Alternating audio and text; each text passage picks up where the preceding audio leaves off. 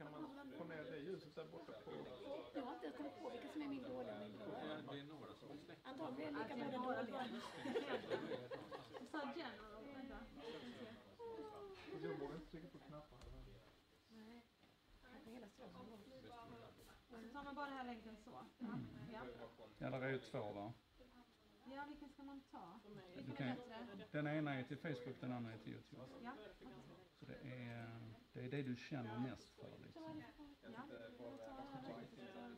Continuous. Jag var helt på på ett par gånger.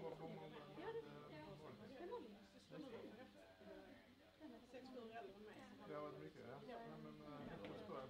Nu fanns det nu anställda. Ni har vuxit så snart. ja. Vi har vuxit eller AI Innovation och Sweden har vuxit så det knakar. Det går in datasändare. Ja. Vilket är Ja,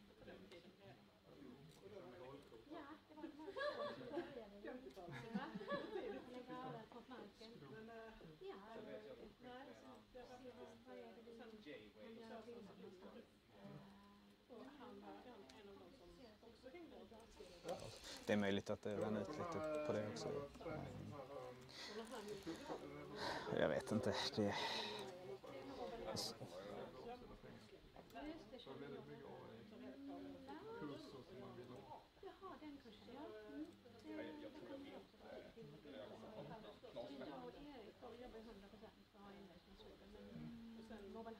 Jag har inte riktigt förstått hur de får. Nej. Och det...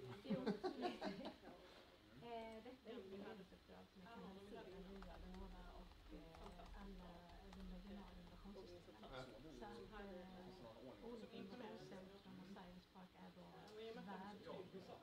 Så de har aktiva.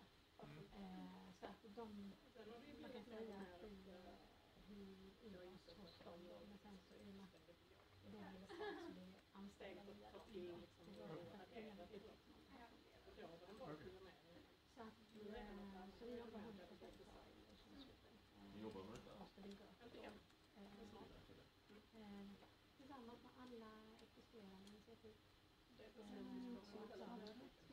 Få igång den.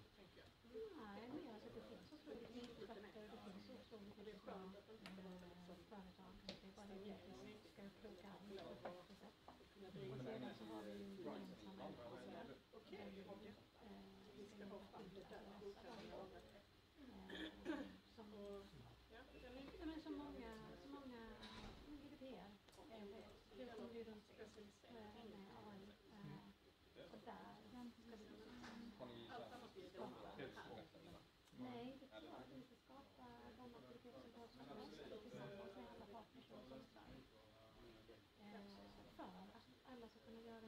mer business, kunna utveckla sina business. Han spelar in allt på Och när det funkar så får vi kunna lösa problemen. Inte alltid Hitta på det. men det är lite komplicerat. Alltså det som är det här Så det är rätt så svårgripligt samtidigt. Ja, för man vet ju inte vad det är. Nej. Det är det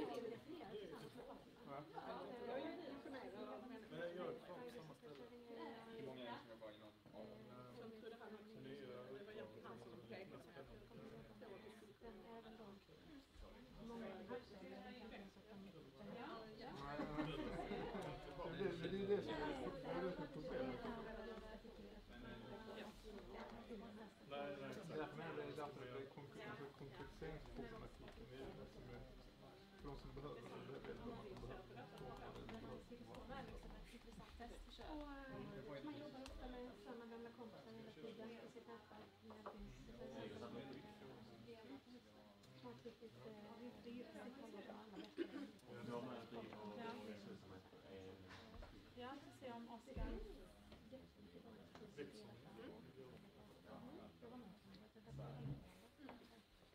Mm. Det går, alltså det är lite så.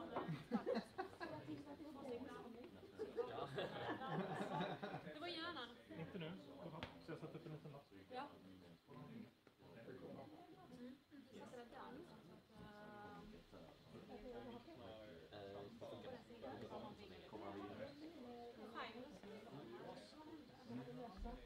Ja men det är modeller som var Ja men det är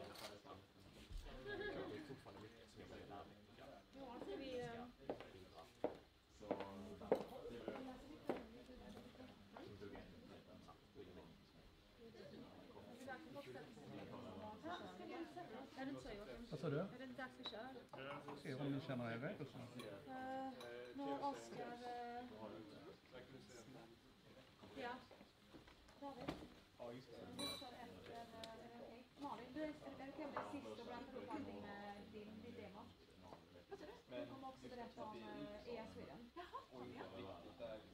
Så.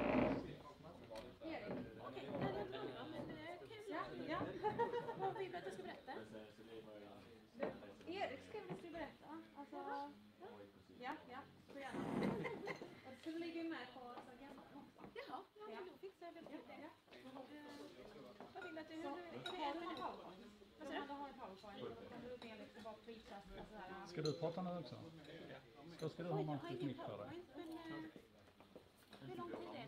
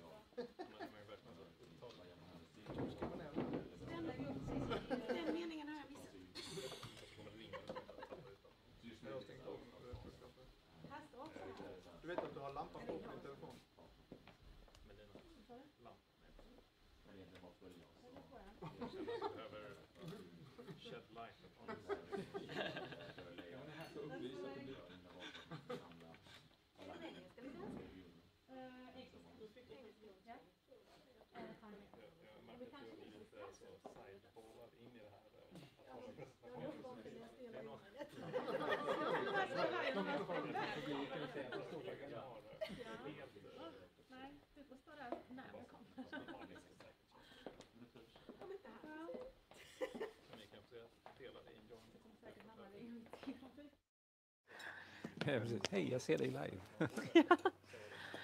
Um, Och det spelas ju inte in, eller hur? Nej, det sänds inte alls.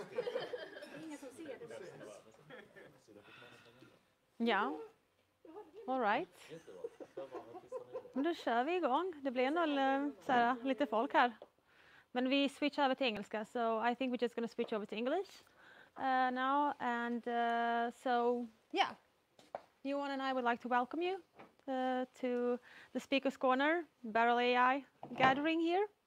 It's an experiment, uh, so we hope it's going to be something we can repeat many times uh, because uh, we have this uh, lovely crowd here today, uh, but we have many more who would actually like to attend uh, after summer. This is middle of summer uh, and also Corona summer, so yeah, hopefully have a very um, yeah much more healthy uh, season uh, in autumn, and uh, then we're gonna have some more speaker corners one, two, three, four, five, and yeah. Uh, anyway, uh, this event is in collaboration with Get AI uh, and a little bit sponsored by NordAxon. We have some chips and wine and, and refreshments over there. We have already found that. Uh, like I said, we also have a very famous person here who will who is uh, behind the camera over there, uh, Joachim Jardenberg, uh, who is live streaming us now on a number of channels. um I don't know how many are seeing us now. Hi, everybody. um, yeah, a little bit nervous. Yeah. Uh, we are not used to this. um, so, yeah, everybody uh, share uh, the uh, streaming. It's up on the Barrel uh, LinkedIn page now. So you can just share that one. There is one on uh, YouTube and one uh, for Facebook. So go ahead, just you know, share it with others because what's coming next is very much interesting. Um, so this is agenda. We have uh, we're having a small intro about uh, Barrel now, uh, and uh, after that we have uh, actually five preachers who will tell us about their interesting projects they have been doing um, last um, yeah I don't know couple of months year depending.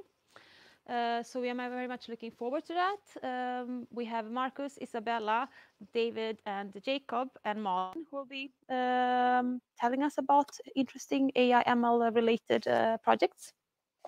We have a networking break in between So I don't know. It's more like if we feel like we are tired, we're not tired after two, maybe we do like three directly. I don't know. Let's see how it feels, how the energy is in the room.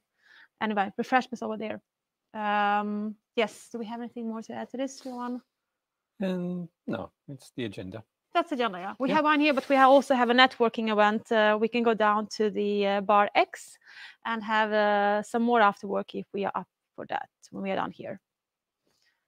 All right. Uh, so I'm just, you know, I forgot to say, like, you know, this uh, speaker corner event is basically the whole idea was that people just come up and just tell, you know, like interesting stuff they're doing. Now it's more organized. But if you, if somebody else here in the room have something, you know, interesting to say, you know, it's just to come up here and share with us and internet out there. Uh, a little bit about Barrel AI, not uh, too much, uh, but it's a pro bono community.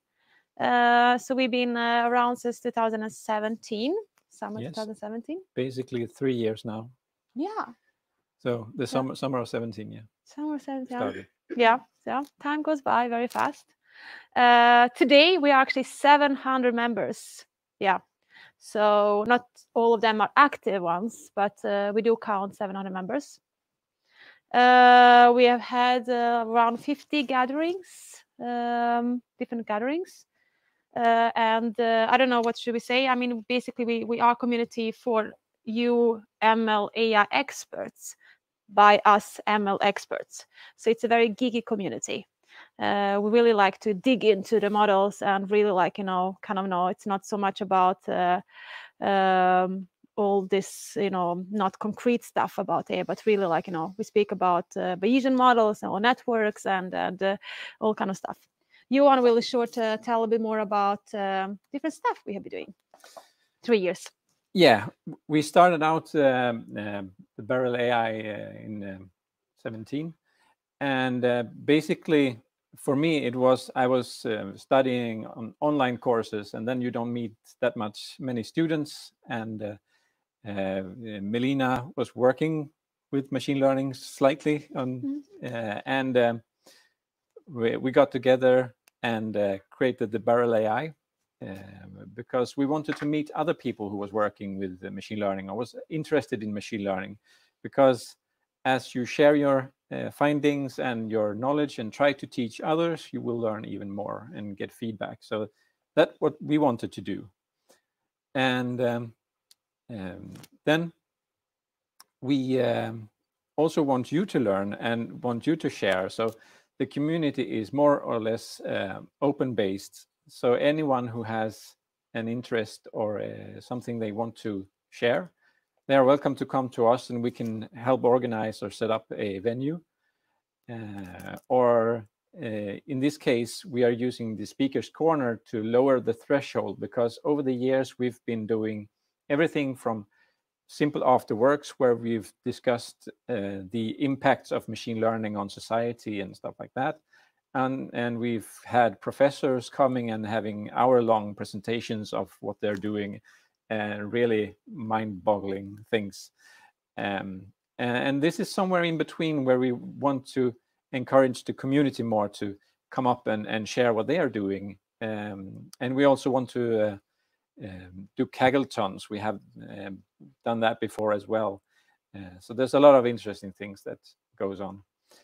Um, but it's been up and down. We've been quite busy uh, the last year, Mm. and uh, it has not been that many events. But we want to make more events, uh, Mm. and uh, uh, we actually spend a lot of time trying to connect with other machine learning AI community, uh, and we spent more time on that last year than we did on creating event actually. But there were a little bit too few resources and too high ambitions, so that didn't pan out with very much. But now we are uh, back again, and uh, we are talking to uh, AI Sweden and Get AI, and and trying to uh, do some more. We Mm. are here to stay. We're not going away, even though it goes up and down uh, eventually.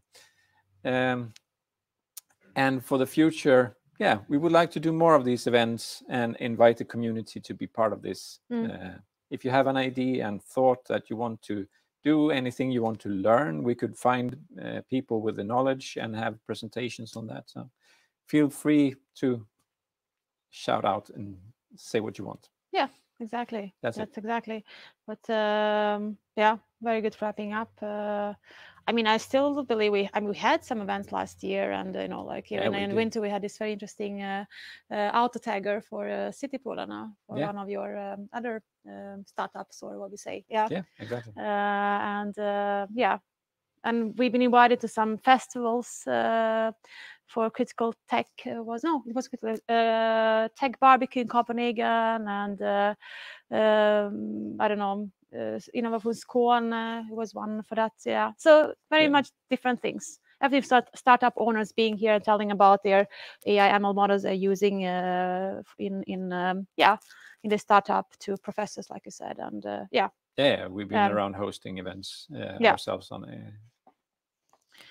Anyway uh, stay in touch with us. Uh, we want you to be more like um, you know active the members out there on internet. So there are many different can- uh, channels you can uh, find us on uh, everything from uh, barrel on barrel.ai you find everything. Uh, but then we are also on linkedin and facebook and uh, slack and uh, and meetup is our uh, channel for signing up for events uh, for the moment. Yeah. We have anything more to say No, I or should we just hand over to, to preachers? yeah. Yeah. Let's get started. Yeah, all right. So the stage is yours, Marcus. You are first out to preach about interesting stuff.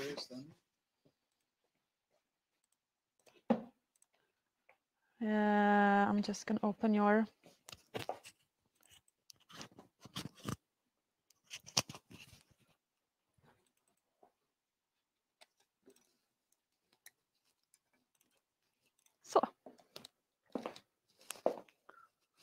Um, vill du köra med din eller? Ja.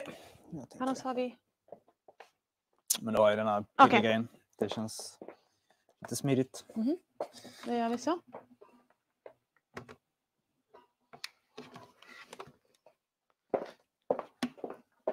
Jag tar min maskin här.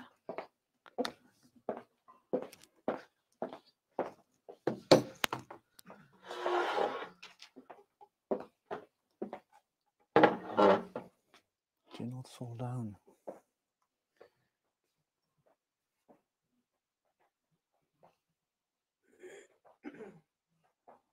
So let's see if this works and if it's visible. It is kind of visible.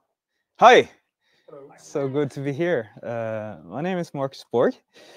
Um, I'm with RISE Research Institutes of Sweden. It's awesome to be here at the live event. I've been uh, presenting things virtually now the last weeks. It's great to see people. It's been a while. Um, I'm going to talk today about um, AI testing, or actually AI meta testing, and I will explain what I mean by that in, in a few minutes. Uh, but since this is my first time in this community, I know a couple of people from before actually, but uh, I just wanted to say a few words about my background to kind of uh, show show you why I'm here now. Uh, so I have a background as a developer, uh, development engineer here in Malmö. I worked with ABB in Fosie in the domain of process automation. I worked as a compiler and editor engineer actually for a few years. Um, so basically working on the tool chain used by automation engineers to download um, control programs down to machines like this, small devices uh, controlling industry processes of various sorts. Safety critical stuff, typically, uh, it has to be correct and work. Then uh, I returned to the university to do a PhD, and uh, I ended up working uh, on machine learning. So that is kind of how I entered this this area. I, I uh, had this uh, very applied research project on using machine learning to support various software engineering tasks in big projects, mostly related to bug management, things like severity prediction of incoming bugs and assignment, uh, automated assignment to, to the right development team and things like that. Since a few years back, I am a researcher with RISE, Research Institutes of Sweden, and this is um, a state-owned research institute with a mission to support innovation here in Sweden and also to bridge academia and industry to make sure good ideas from from academia uh, reach um, Swedish businesses and organizations. And this is fun. And what I'm really passionate about uh, at the moment is AI quality assurance. And this is what I will talk about today. I'm also an adjunct lecturer with Lund University 20% to do teaching. Um, I supervise students, master thesis projects, and things like that. Um, so that's that's me. Today I'm going to talk about woohoo, AI. Uh, that's nice. It's good to be here in this uh, community because I don't need to tell you much about how cool AI is and what you can do with it. So that saves me some time. Um, but what I can say is that a lot of cool AI ideas are really cool and perhaps still looking for the uh, value adding applications. Uh, a lot of it is still proof of concepts, entertainment, and, and cool things. But there are, of course, uh, also things that are very mature. Uh, I work at the moment pretty much with the automotive industry on object detection and recognition, and, uh, and there are also many other uh, applications that are definitely value adding at the moment. But I'm going to talk a bit about uh, those applications that are perhaps not so much about entertainment, but more critical applications where you need to be able to trust the AI. And yeah, the motivation is why do we need AI testing? And yeah, of course, in the automotive domain, it's quite easy to argue that, well, we've seen Tesla crashes, we've seen the Uber crash and, and things like that. So that's kind of obvious. But it's not only about image uh, computer vision applications in, in, in the public traffic. There are also other things where you need to uh, assure what is going on. We have, for example, the chatbot, the Microsoft chatbot that turned Nazi after just a few hours. Uh, Amazon sexist AI recruiter is another example, also text-based examples. We need to align somehow uh, expectations and what actually is uh, is coming out of the other, yeah, in the end. So AI testing, this is what I'm talking about today and preaching about, I guess.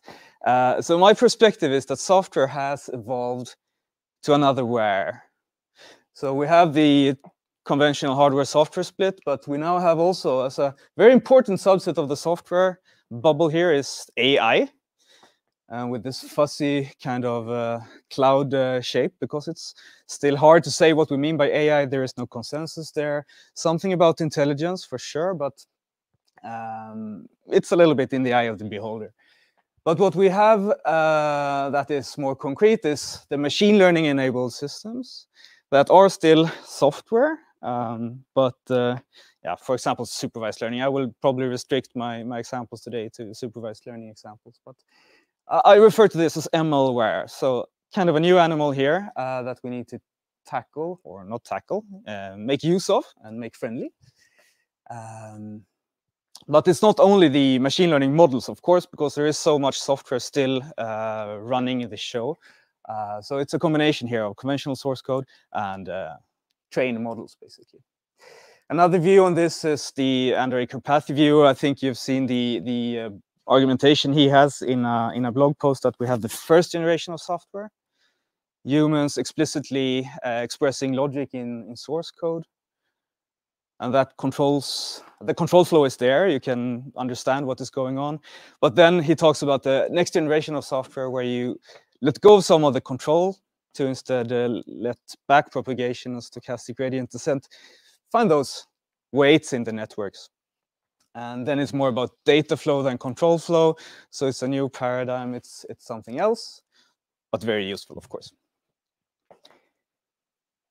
Uh, so my, uh, what I claim here today, or what I preach about, is that software testing needs to co-evolve with the software evolution we see now. So we no longer can rely on the conventional best practices we have had for, for decades.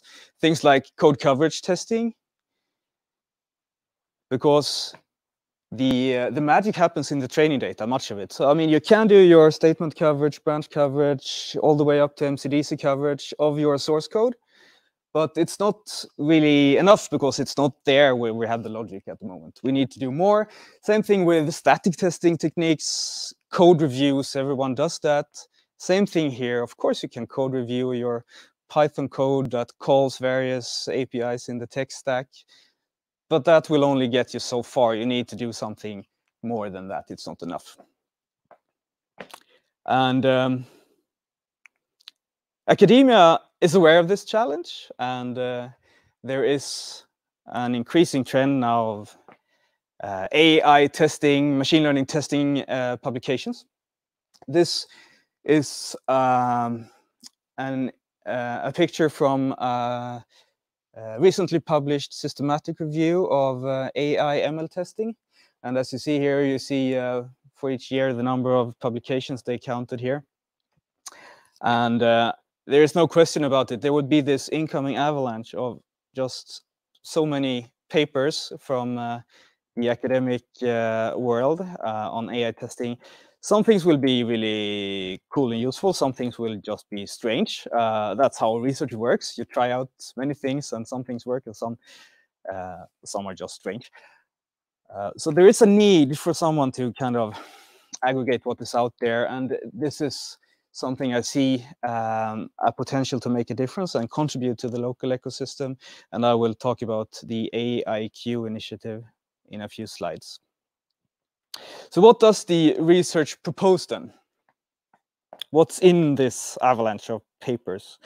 Um, a lot of that is uh, adaptation of existing software testing research. First, I would just like to say that software testing research is like two decades um, more advanced than state of practice testing. There is still so much manual testing going on in uh, in industry, and some of the um, ideas in the academic testing community, they still haven't reached uh, all the way out to industry, and that's too bad. I think it's partly because being a tester in, in, in software industry has kind of a low status. So it's uh, mm, it's not really there, it's happening, but there is so much cool things you can do with uh, with advanced software testing. Just some examples uh, that have been adapted for ML testing. Fuzz testing using randomness in, in the input. Search-based test input generation is something I have worked on. For example, using genetic algorithms to evolve test cases that actually stress your systems.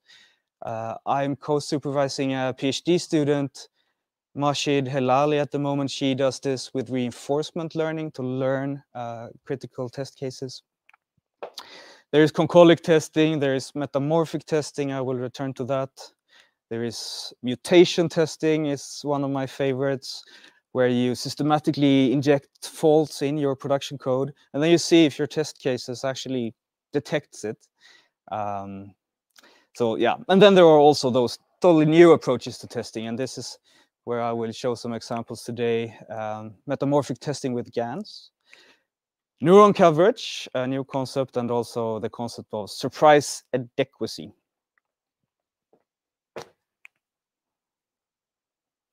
Time-wise. Um, so first I'm going to talk about metamorphic testing then. So this is an image, it's very hard for you to see in the back, I realize, but this is an image we have from uh, a pedestrian tunnel in Helsingborg. Uh, so we had a student project now running in May where uh, the students trained a classifier to uh, look for, well, basically bicycles, uh, dog walkers and pedestrians in this tunnel. Um, standard um, classification uh, model there. Uh, and what you can do with metamorphic testing, which is quite cool, is if you have some input and you know what the output should be, if you then make a change to the input, for example, changing the illumination in the tunnel, it should still be the same label in the end. So this is one uh, approach to uh, address the so-called oracle problem in software testing. And what you can do then is to use GANs. That is what we did in this project to change the, the input image. So for this example, let's say we send this image through the network and it says it's a bicyclist. It's of course wrong here, but anyway.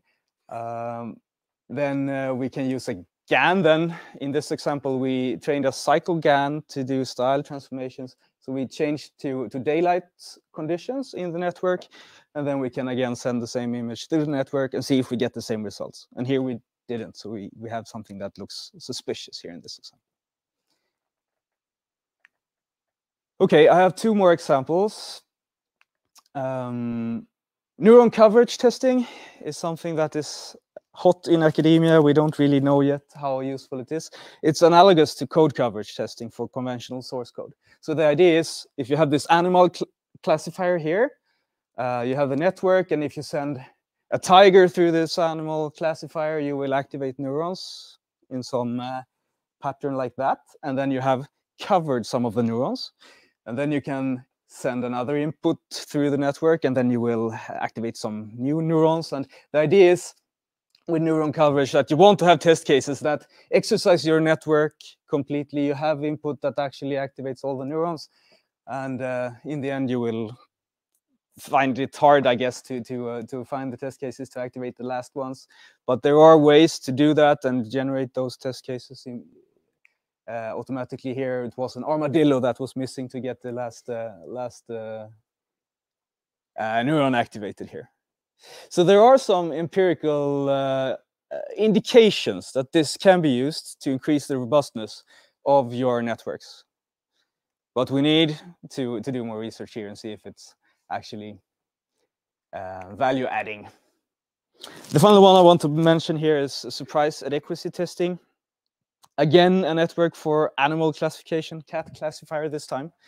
And the idea is you have trained this network to classify cats, and then you have this um, training set. And you know, for this training set, you have a mean activation pattern here in this network.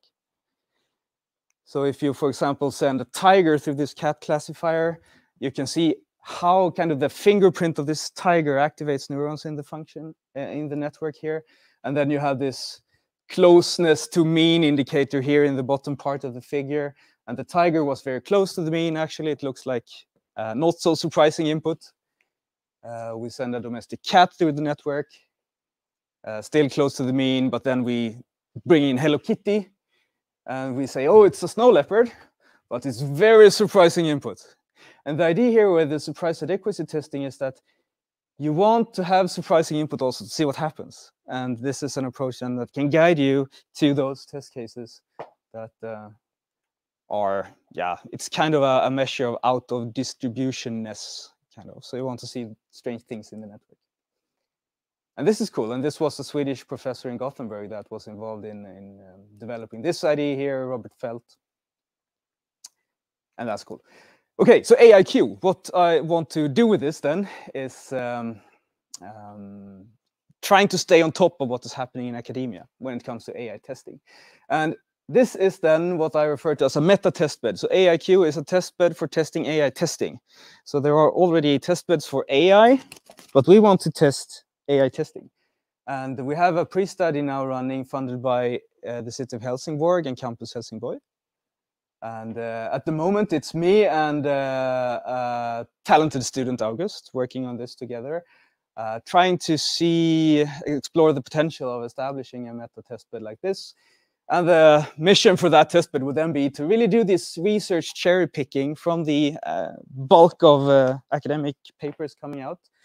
Uh, the most promising ideas, try them, scale them up, see if they work, validate them in a controlled setting, and then package them provide guidelines to the local ecosystem for how to actually use it. Courses and education, PhD supervision, of course, we would like to have active research in the area. Uh, maybe in-house AI testing, bring your model, we can test it for bias, things like that. And um, yes, this is a pre-study running until the end of the year. We have um, some uh, other people in the background involved, and there is also more funding uh, behind the scenes. We hope to extend this also to to continue next year. But uh, yeah, this is what I wanted to to preach about today. I think there is time for questions, although I suspect I talked for 15 minutes already. It's interesting. So yeah, after each session we have a question and answer five minutes. So go ahead and for a while. Yes. Are there cases where you won't get full neuron coverage? Yes.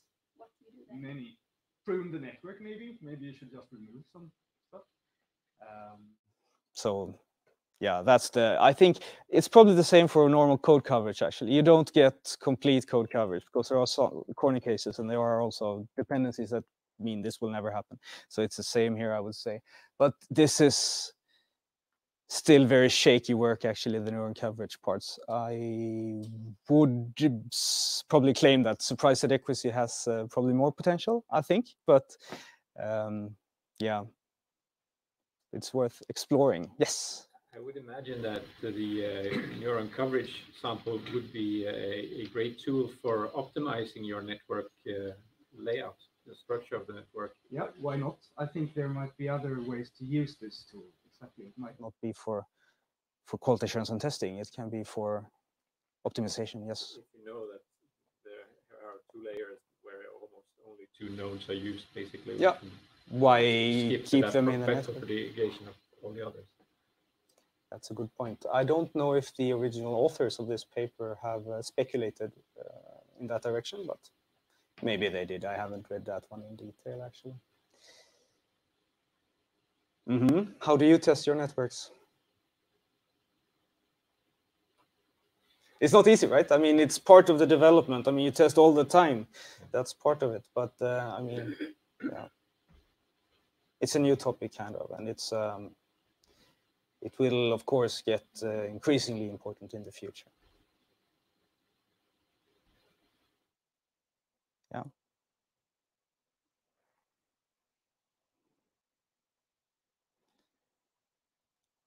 I hear the ventilation system. How are you? I mean, maybe I missed that. How far are you with the project now? With the pre-study? yeah, yeah. Well, the pre-study is more about uh, exploring the potential of establishing a thing like this. So it uh, uh, pretty much started in May, and uh, we will uh, release some reports on the uh, on how promising this is by the end of the year. But hopefully, we will also be able to um, do something more hands-on, having some demonstrator during fall. Um, that's that's the ambition, and that's what we want to do maybe continue working with the tunnel access camera in the tunnel in Helsingborg. That's a fine test bed for us at the moment. Yeah, how much of it do we want to use? And it's uh, camera data. Yes, um, it's action uh, triggered. So I mean, we we only look at when things actually happen in the in the camera, but um, in the tunnel. But yeah, it's a good uh, Yeah. it's a good playground for us. How the? So much different data you get? you find strange things in tunnels, one could say. um, yeah. Mm-hmm. Thanks for the attention.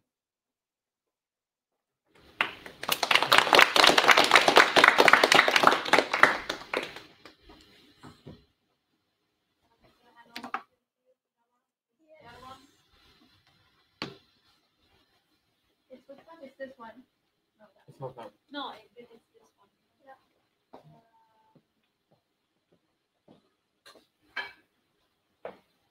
So. Yeah, I don't know. Can broadcast it. Can I ask questions, Joachim? Online? No. Mm-hmm. It'd be cool though. Yeah. So. We can use that one. Nu ja. Ja. Ah, why not now?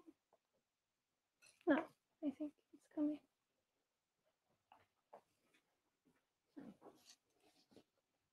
Is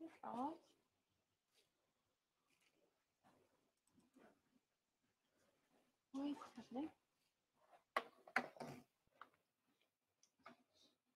How nice. Om du trycker på presentera från början. Kommer det inte upp då eller?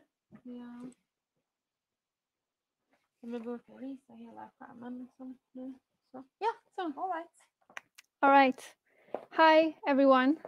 My name is Isabella, and today I will be presenting my master thesis. And please bear in mind, we're not done yet. Uh, so this is like preliminary results, uh, but we will be presenting in August. So it's uh, we're quite close to the end. So um, in Sweden, we can do master thesis two by two if you want to. And I have done this with a course mate. And today I will be presenting my part of the project, but he has done uh, another method as well. So basically what this is, is that we have uh, been doing this for a company They are called Minut. They are based here in Malmö, and they do kind of a home alarm system. It looks like a fire alarm hub, and they do analysis of sound and temperature and air pressure, amongst other things. And they do not use um, cameras. Uh, so yeah, you can keep a track of your home, what's happening, if someone is moving there, etc. And so what they wanted us to solve was basically, can we um, can we appreciate how many people are in a room based on a recording? So we're assuming that every person in a room will speak at some time, and can we then count the number of unique voices and uh, get to know how many people are actually in there?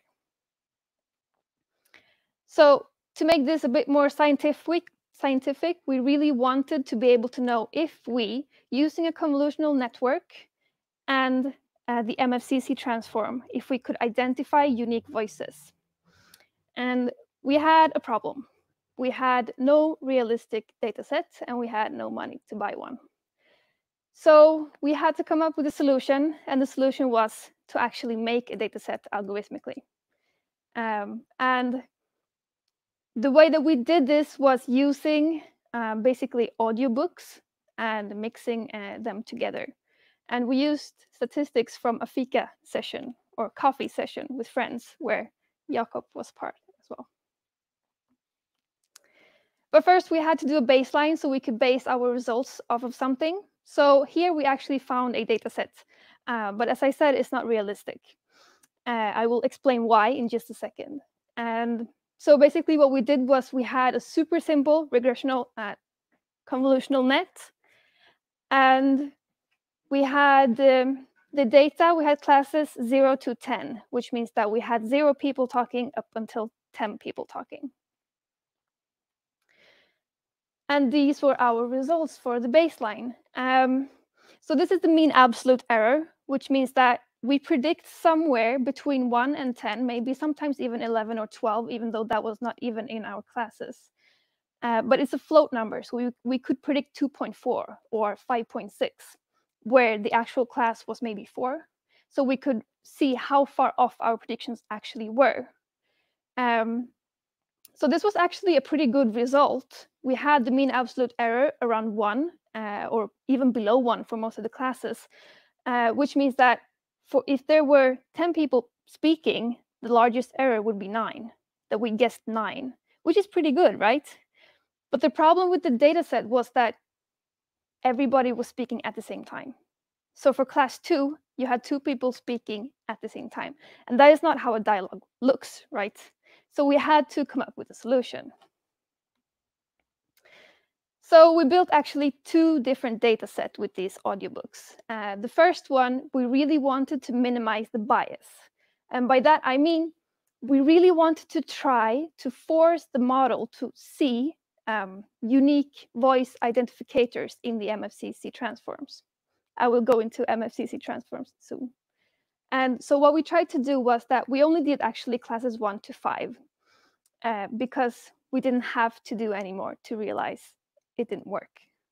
Um, but what we did was, for class one, we had five clips of the same person saying different utterances after each other. And we made sure that we minimized bias. So each utterance is about the same time long. I mean, about half a second or something. And then for class two, there were two people talking, different utterances, also five clips together. And that was one sample. So this is an example for, uh, for class five the different um, colors indicate different persons. And then we had the second data set that we thought was more realistic, where there is actually overlapping speech sometime. Maybe someone is interrupting, maybe two people are talking, and then three people are talking in higher classes. Uh, there can be a lot of different conversation, conversations going on at the same time, and we wanted to be able to capture that. So this is a, an, another example of class five, where you can see actually some overlapping uh, of the signals. so now, what is MFCC? So this is actually a transform that is commonly used in speaker recognition tasks, and it captures phonemes. And basically, phonemes are the sounds that make up the words that we are saying. So when you're using maybe Alexa or something like that, the chances are they are actually sampling the audio and then doing the MFCC transform to hear what you're saying. So what we are doing is we're framing a signal into millisecond steps. Um, we do the Fourier transform, short time Fourier transform on that. We have a filter bank to convert that to the MEL scale. Um, and then we do a cosine transform and we find the MFCC. And MFCC stands for MEL frequency Cepstrum coefficients. So you call it MFCC. And the way we, that we did this, that we found a open source library called Librosa. Super simple. All of these steps, just one line of code. Very nice. So how did it go? As I said, we're not done yet. These are the results as of today. Um, the first data set with the minimized bias, as I said, didn't go too well. This was the confusion matrix. So for classes 0 to 5, it could actually find where there was no person talking. But for the rest of them, it just guessed it all on 3. And that is that it kind of got stuck trying to minimize the cost function, but it had no idea what was happening. Um, and there are a number of reasons to this. Maybe the MFCC transform didn't actually contain that much data about different voices that we had hoped. Um, or it was just bad luck. So for the second data set, it got better. So here I'm showing again the mean absolute error, but only for one run. Uh, so the classes are on the x-axis. And as you can see, actually, it's pretty good. Um, it's it's around zeros, uh, 1.5, uh, 1, uh, 1, 1.5, uh, except for class 10, which is spiking. Um, still 3.5, it's not that bad, but we would want it around 2, maybe 3 as a maximum. Um, and these are also the results that I ran this morning. Um, so we have some inconsistencies left to, to figure out. Uh, I mean, it doesn't look good that class 10 is just spiking up like that, but we don't know why yet. Uh, but if we're looking at the confusion matrix, it looks better. You can see a clear diagonal, which means that it actually did predict somewhere where it should, or in the in the near uh, neighbors of where it should. And the nice thing about using convolutional neural networks is that you can actually visualize what the network is seeing and classifying based upon. So this is an example of a heat map or grad cam. It's very hard to see up there. I realize that. but basically, so for the MFCC, it's 30 coefficients um, long. And you can see some patterns where there are actually voice utterances because that is the phonemes that are being captured in the coefficients. And so what we are seeing here in the heat map is that it, it's actually looking at the first, I would say, first 15 coefficients uh, very uh, a lot to try to classify uh, how many people are speaking. So we know that our network is actually looking at the right thing, uh, even though its classification is, well, it could be better. So we tried, we, we, uh, we have trained that model on our algorithmically built data. But what happens if we take that model and try to apply it on the actual coffee session? I mean, it's not perfect. Um, as I said, for classes one to six, we would want it around one, two at max. Uh, it spikes up pretty linearly to 3.5, and there are a number of reasons for this as well. So for example, for the, the data set that we built, the audiobooks, every person that reads in an audiobook will be sitting super close to a mic, right? And they will be speaking very clearly. That was not the case with our Fika session. So we had placed a mic, but some people were further away from that, resulting in a higher uh, signal to noise ratio. So maybe the, um, the model thought it was actually noise instead of a person speaking. You get the idea. It's a, it's a bit of a problem here. But the main point is that this could actually be feasible for real life. Uh, we just have to build and annotate real life data sets. So my partner and I have been talking and thinking a lot about this. So one way we could do this um, is by having a room full of people. Each people, each person gets one mic, like I have right now, and then we have a mic in the middle. So we know when each person is speaking based off of their own mic. But then for training the models, we use the mic from the center. Maybe something like that. Maybe just feeling the vibrations maybe a vibration sensor or something i don't know and also are we counting nonverbal sounds like how do we do with laughter maybe some, someone is coughing how do we know that's a new person or someone from before? It's very hard to tell right? And also in this thesis we have done basically no pre-processing of the signals at all. Uh, so there are a number of transforms you can do before you actually send the signal into the MFCC transform. That would be interesting to try. And also test different models. I mean, I only tried the, the convolutional neural network, a very simple one at first, and then adding a bit more like batch normalization and stuff like that, you know. Um, but just keep trying, maybe a hyperparameter uh, optimization or something like that. And yeah, I think that was all for me. Questions?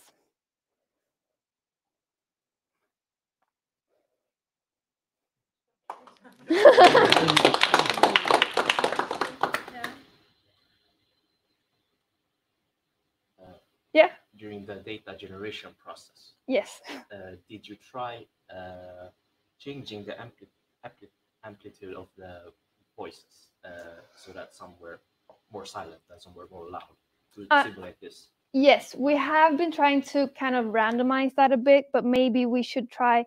Um, I mean, we have set the background noise to a constant level, and then there's only a range of values in between that the voices will actually range uh, between the amplitude. So maybe I don't know, increase that, increase the randomness of the of the background noises, uh, and stuff like that as well.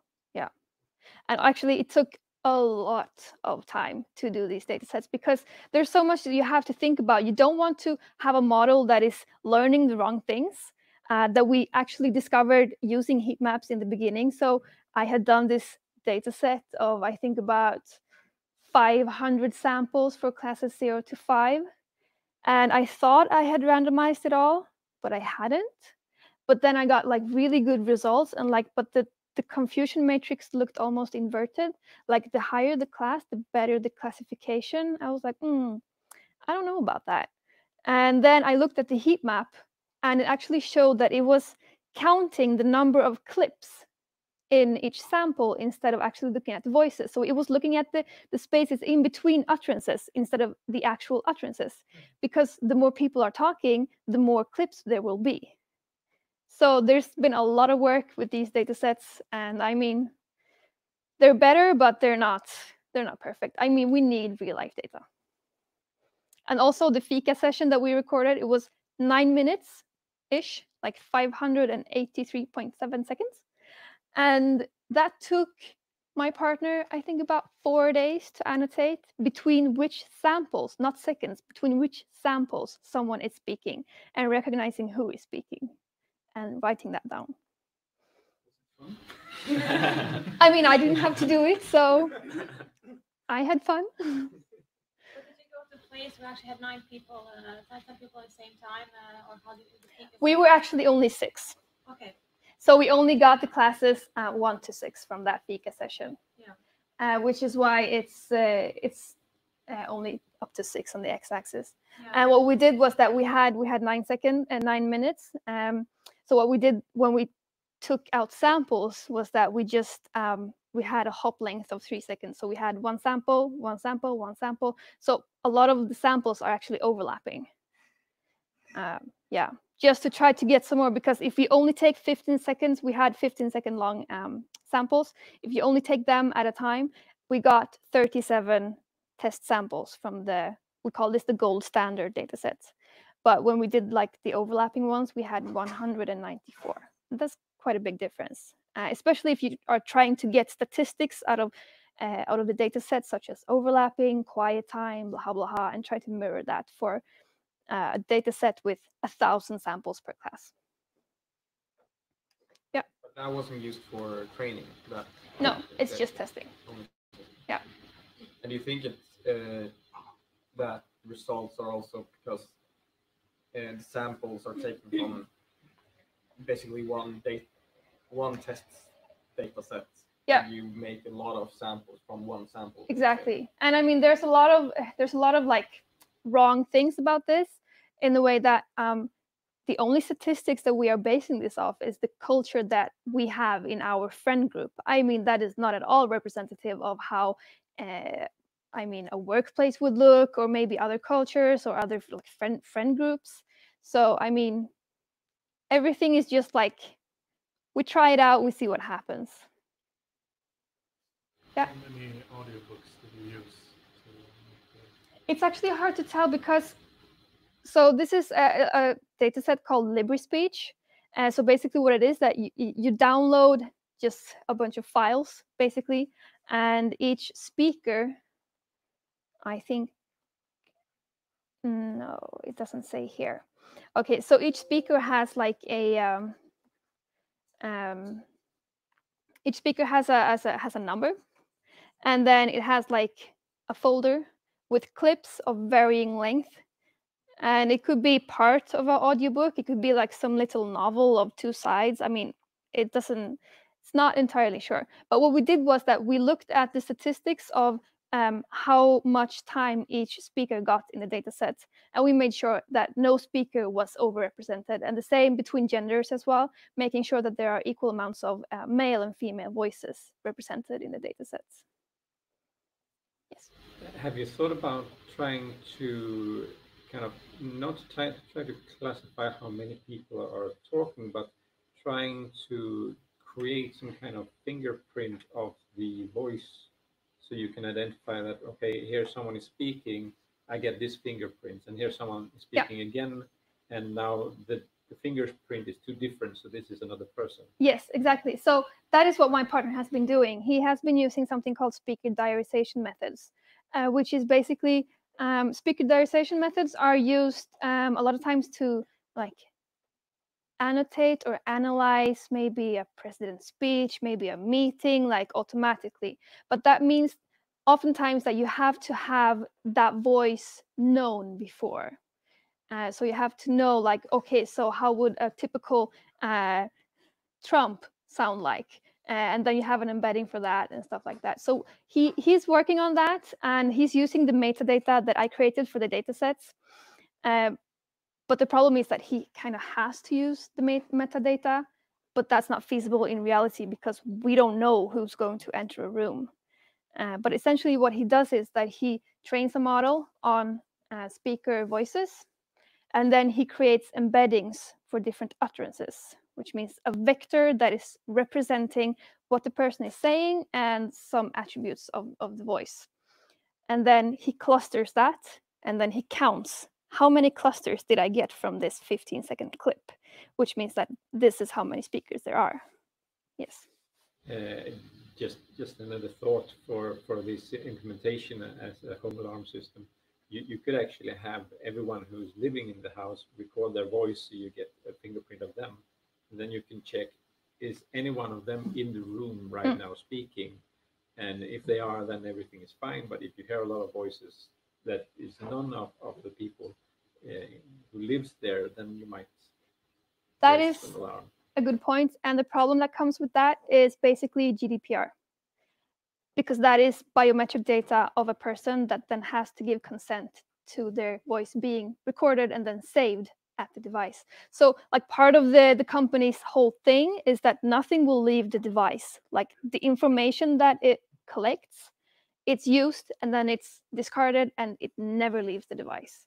Uh, so that's part of like the security aspect. Yeah. Yeah. And another thing is also that their main um, customer are like short time rentals. So it's more like, okay, is there 26 people in a, an apartment for two? Or like, is there someone having a party? Uh, is there a break in where like someone is there that shouldn't be there? You know, stuff like that. So it's more like a, if it's possible to to use that, um, we'll see. I mean, my partner is not done with his part yet. So, yes. I can imagine that Amazon, Google, and the ones with uh, home speaker systems are leading this field, but it's nothing available. So basically, you're inventing the wheel again. Or how is how have you been able to to utilize their work? Um, we have not uh, looked that much into it. I mean, we just from the start kind of assume that okay, yeah, that's not gonna, they're not gonna give us anything. Like we're working for a company, they don't really want to like help us just for the good of their nature. Um, so we kind of invented the wheel again, yes. And actually, what's funny is that this approach with um, identifying speakers using convolutional nets and um, MFCC transform. So we started in February. In March, actually, there was a uh, an article published in IEEE about the exact same thing. so we were like, oh, okay, yeah. We we started when we started. It was actually something new, something that people hadn't really tried before. But yeah. Another thing you could use for test data is uh, on YouTube. You have like these uh, coffee dis discussions. Yeah. So you can kind of pick uh, some samples that are more realistic Mm. from different YouTube uh, Yeah. videos and stuff like that. Yeah, we started actually, and that was our first idea of how to build a data set was to like scrape YouTube and then just um, uh, like try building something with that. But then we actually um, realized that the data set that Audio Labs, like our baseline data, had built on was free and available. So we just went with that. Yeah. Yeah. Is this device going to be connected to the internet in order to be able to, I mean, send away snippets of audio data to to do some, I mean, do calculations on, on a server, or is it supposed to be done? It's on the device. On the So device. yes, so that's another thing we had to like bear in mind was that since it's a very small device, it has um, memory constraints. So we wanted the model to be as small and lightweight as possible. That's also partly uh, the reason why we use the MFCC transform instead of, for example, short time Fourier transform at a whole, because that one, when you want a good uh, resolution, can get very, very heavy. And having that type of model with that many parameters, it's not going to work because then that model would just take over the memory. So yeah. Small is small in this example? How much memory do you have available? I mean, the instructions we were given was basically as small as you can, and it's still like, like as small as you can, while it's still producing um, good results. So um, we were like, okay. uh, so that's why we started the baseline with um, like three um, convolutional layers. We were like, okay, I mean, if it works, it works, and it ish worked for the baseline. And so that's what where we have been trying to stay. But then again we thought like i guess you always do with a master thesis you think you're going to get somewhere very quickly. And then like we had ideas of like you know transforming this to c and then running it on the device and you know having demos and everything. Uh, but uh, as of now where we are ending is it's probably helpful maybe so we didn't actually get into like the actual memory question. Yeah. Uh, is there a possibility to tweak the specification a little bit of, of the task? Like instead of trying to define is it 10 or 15 people in the room, say that is it one, two, three, or many? Yeah, exactly. Yes, that is uh, one. Uh, Eight or 15, exactly. give or take. Exactly. So, so a part of it was that we thought we would do like higher resolution maybe for lower classes, and then as we go up, because the uh, uh, the mean uh, absolute error will be increasing anyways. We just thought, okay, let's let's just uh, put together like class 10 to 15, and then 15 to 20, and then 20 plus. Um, and yet again, we have as of now only classes um, 0 to 10. So, I mean, sure, we could do that. It's just a matter of like relabeling the the samples. It's takes very little time, but yeah, that is definitely like uh, an option that will be uh, maybe on the device later.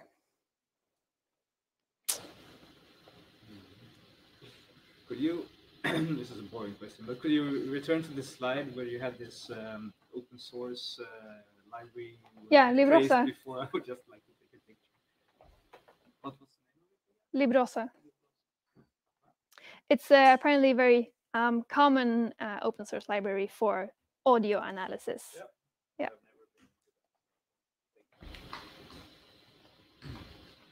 Yeah. About the heat map, of yeah. how the phonemes are actually, I mean, where you spot the, uh, the differences.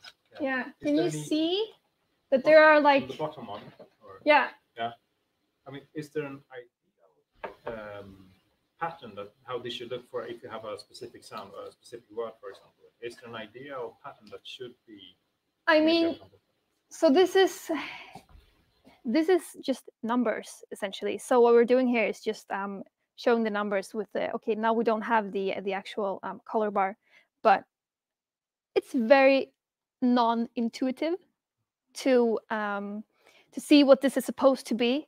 I mean, basically, what you can say is um, if there's just like white noise, like here, you can't really see anything, so you guess no one is talking.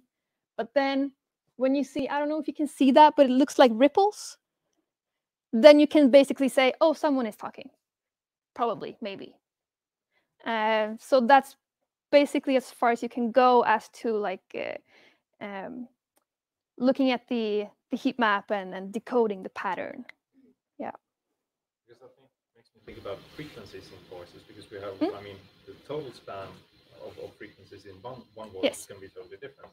And if, and even if you add two or three, the both the amplitude but also the frequency span is going to increase. But that is not really. Is that taken into account in the? So so what is uh, the the mel scale essentially is um, a scale that was developed to to mimic the human ear, and the human ear is uh, like developed to um, hear and understand human voice, right? So we are uh, by doing the um, the filter bank, the filter bank will actually um, increase the uh, uh, some frequencies and make a high resolution for some frequencies that we know that voices are within, and then lower uh, resolution for for frequencies that normally don't contain any voice activity. So that is like the whole package of MFCC. That's where that is taken into account. Yes. So, but also trying to um, trying to, I mean, the y-axis here, trying to decode that and understand what that means. Very hard. So normally for speaker recognition tasks, you, you only use the first 13 rows. You see there's like two rows at the bottom, green and uh, red and blue.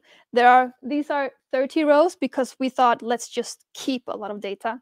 Uh, but normally you only use like the first 12 or 13 because that's where the voice is and that's where you're going to find the information about what the utterance is. Yeah. Possible to use uh, several microphones for this line or company? I mean, yes, probably. So what they're selling is one device, and some people having large homes or rentals have several devices.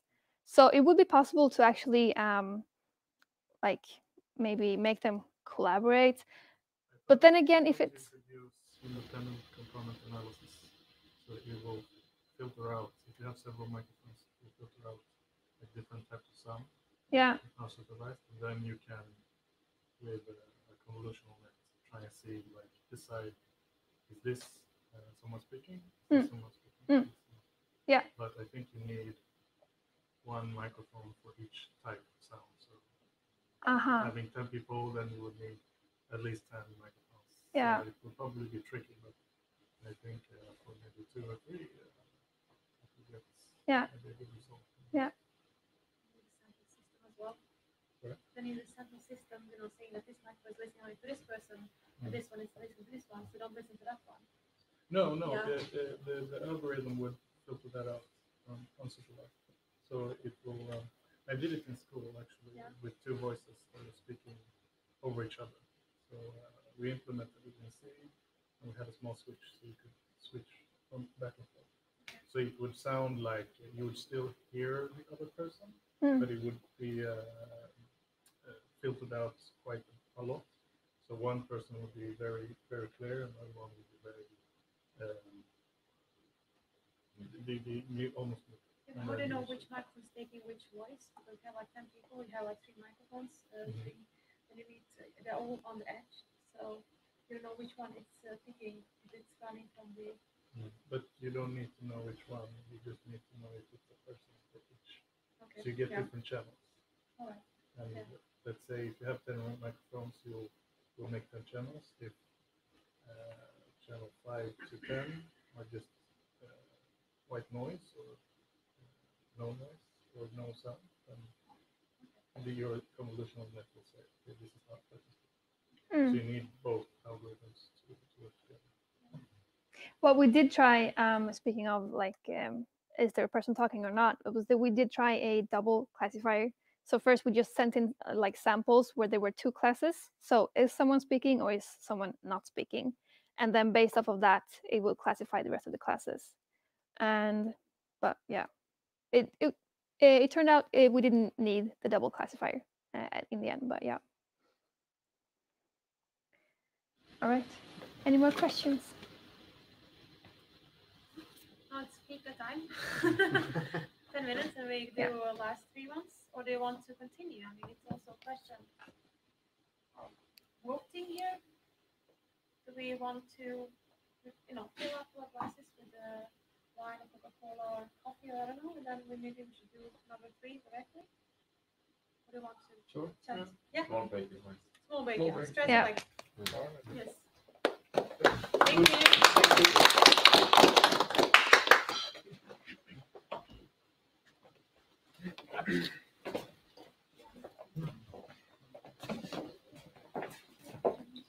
Så lägger micken där då. Jag tänker också här eh, ingenjörstänk. tänker att Man har tre stycken mikrofoner och så triangulerar man bara in ljudet och sen så slipper man allt. Ja. Eller så kan man köpa en mått och så slipper man allt problem. Som då räknar personer som utan att lämna den är också Mått kan. Eh, Det ser ut som en brandvarnare som sitter men den har en kamera. Men ingenting från kameran alltså, som är synligt säga, för människor. Förstår du? Den har- Så den räknar per 20 och sen så gör den alla beräkningar på vad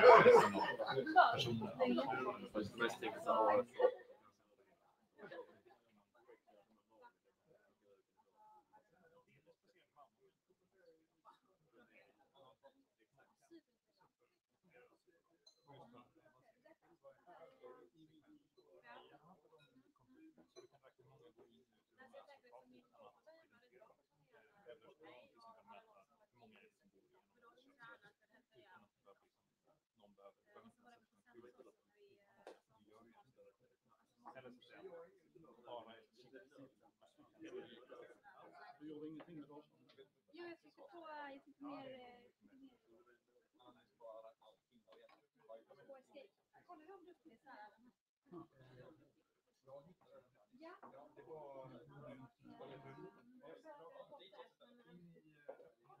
På vilken adress? Carol? Eller? Nej, det är menyn. Ja, ja. Jag tror bara gör så. Ja. Det finns massa produkter här, ja. ja.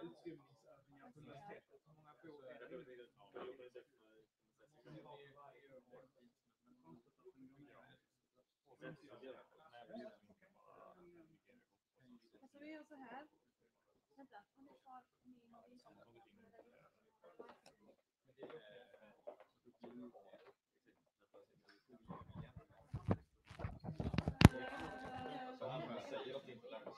Den har ingen sån här- Nej, jag tror den är- Jo, det har den. Jag tror att den är fysiskt avskild, alltså kamera- Så därför, eh,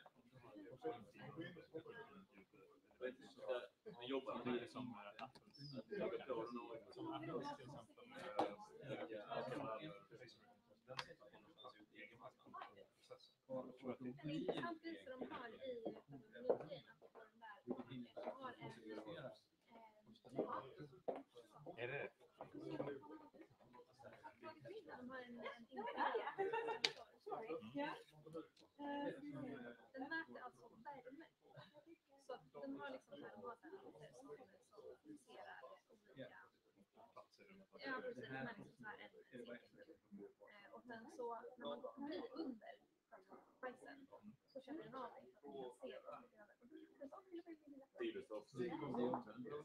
där, det har man ju haft mycket. Larm just nu är väldigt svårt. Det bryter bara den ena sidan på sekunder. liksom. Men, eh, grejen i IRS är att du ser inte om det är någon som går på det eller om det är en image. tar en klocka och byter. Eller om det är Redan så kan, kan du ju träna den på vad som helst. Eftersom det kan vara fyra fula så är det Ja. Så det är det är intressant att inte bli större än det är. Så att säga. Men, ja, det är verkligen ser skillnaden att det är lättare att tro att det är någon så att säga, en ljudsensor på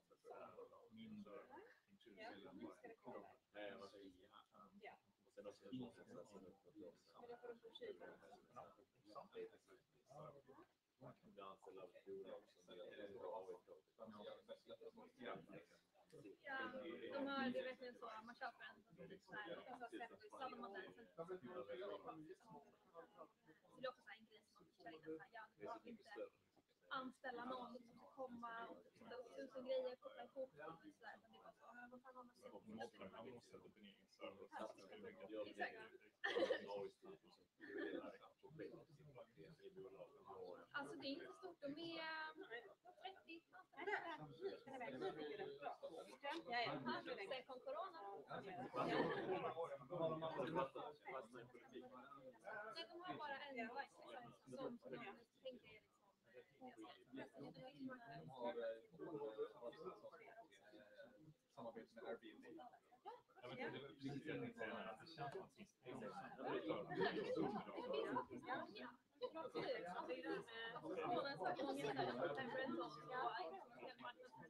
Men ja, Airbnb Jag tänker ibland kan vi liksom om man går in och kollar lite på Airbnbs hur många shower security stuff så finns där deras liksom. De har lite olika som de liksom rekommenderar.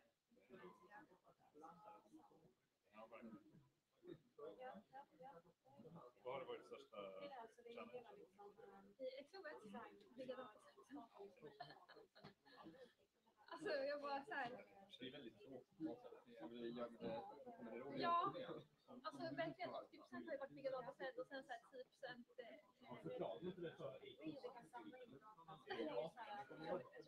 Alltså nej, typ inte. De bara här är data.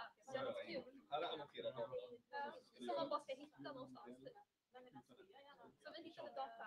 Kolla vad och så kollade vi inte ens taggen liksom. Ja men precis det här var vad det är som vår anledare. Så de så här, vi vill in med Maria. Och så bara 2000 ju- eh, 2000 dollar. Vi bara nej, det kommer de aldrig gå med på.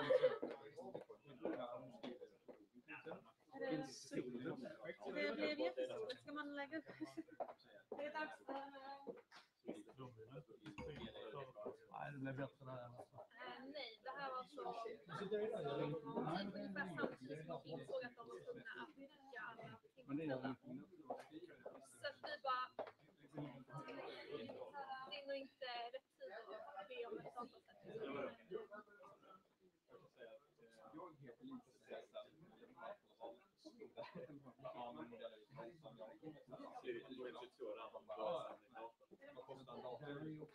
Eh, det har väl varit ett 40-tal inne som mest. Men det är ingen som svälter än så länge.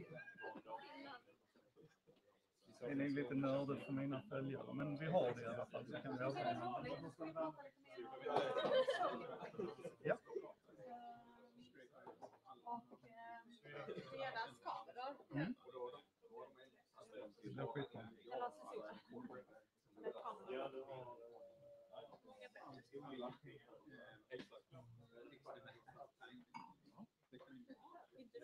Ja, verkligen.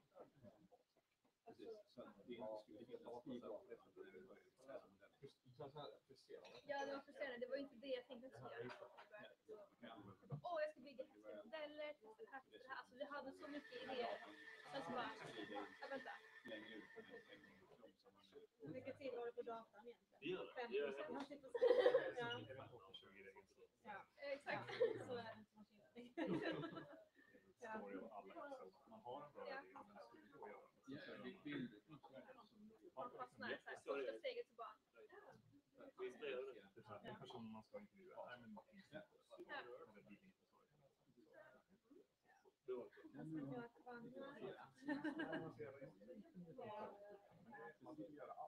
Sen finns det olika grader. Vill du sa att du har så att jag alltså, hade det en, en bild är ganska vanligt. Ja, det är precis. Men, Ja, precis.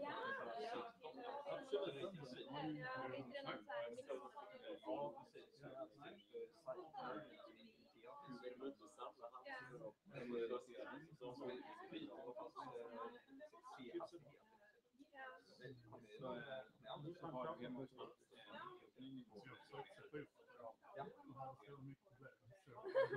ja, så har vi en ny nivå. Ja. Ja, okej. Jag kan ju inte se till att börja med, så det känns inte värt att gå in i den. Och i datan. Jaha, jag har en sån device hemma. Jag ser hörselrätt. Eh, och du vill samla in datan. Liksom man får se.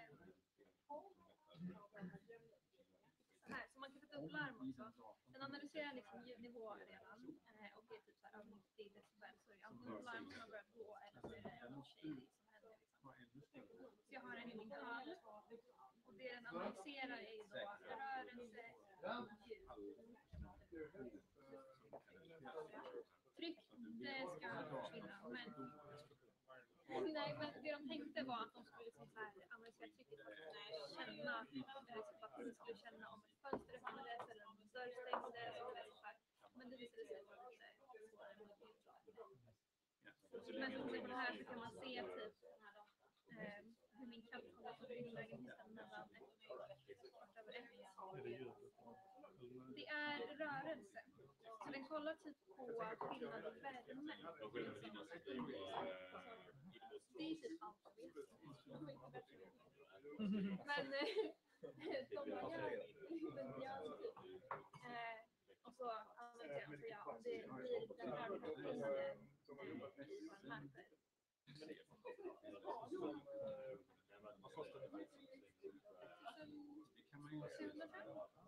Så det med det är överkomligt.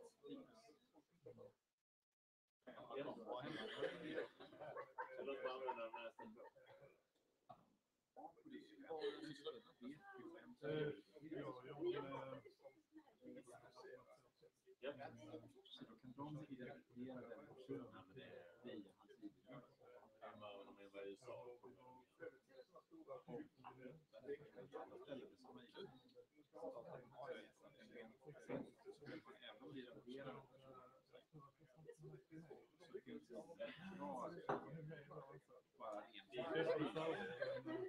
identifiera den personen via hans ID-nummer. Även om vi identifierar en person så finns det bara Ja, eh, jag skulle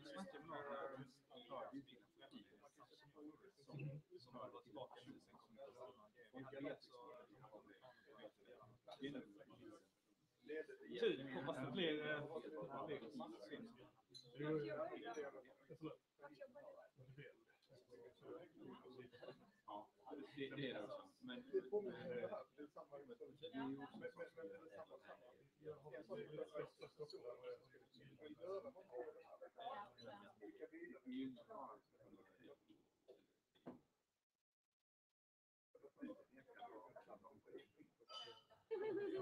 det, det är det också. Men det är Jag, jag läste kallade data Ja, men det, det menar vi. Nej, nej, nej, för det är det de pratar om. Jag skrev för att de, de är data scientists, men de blir liksom anställda av företag. Bara, Sa du data? Ja. De hit. Och sen varför synen på data scientist, söker synen på data engineers, data cleaners kanske, och hur man kan sätta det liksom sammanhang i ett företag att. Jag tror det att jag inte mästare att jobba i och information så här, det andra sätt att jobba på det. Alltså bygga upp det har du sett. Ja, har de toaletterna.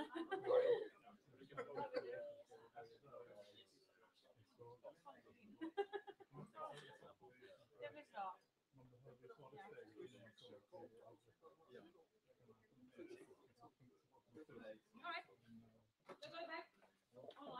Eller göra. Vad sa du? Ska jag bestämma? Ja, det är som ska köra nästa. Ja.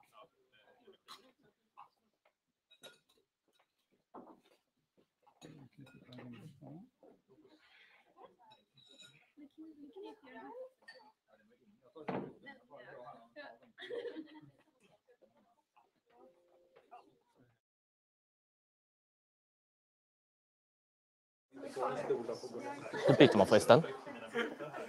Uh, vänta. Hmm. Har du någon aning om man byter slides? Jag kan inte få det att funka. Eh, f- förlåt, jag vet inte vad jag gör. Eh, jag vill bara, eh, om jag ska byta bild, vad gör jag? Mm? Högerpil så får du nästa. Om du är i eh, presentationsläge. Ska vi se. Space. Eller vänsterklick kanske. Ja, vänta, men då gör vi så här. Vad har hänt här? Ja, nu funkar det. Så. Ja, men funkar. Jag får bara trycka lite hårdare. Yes, okej.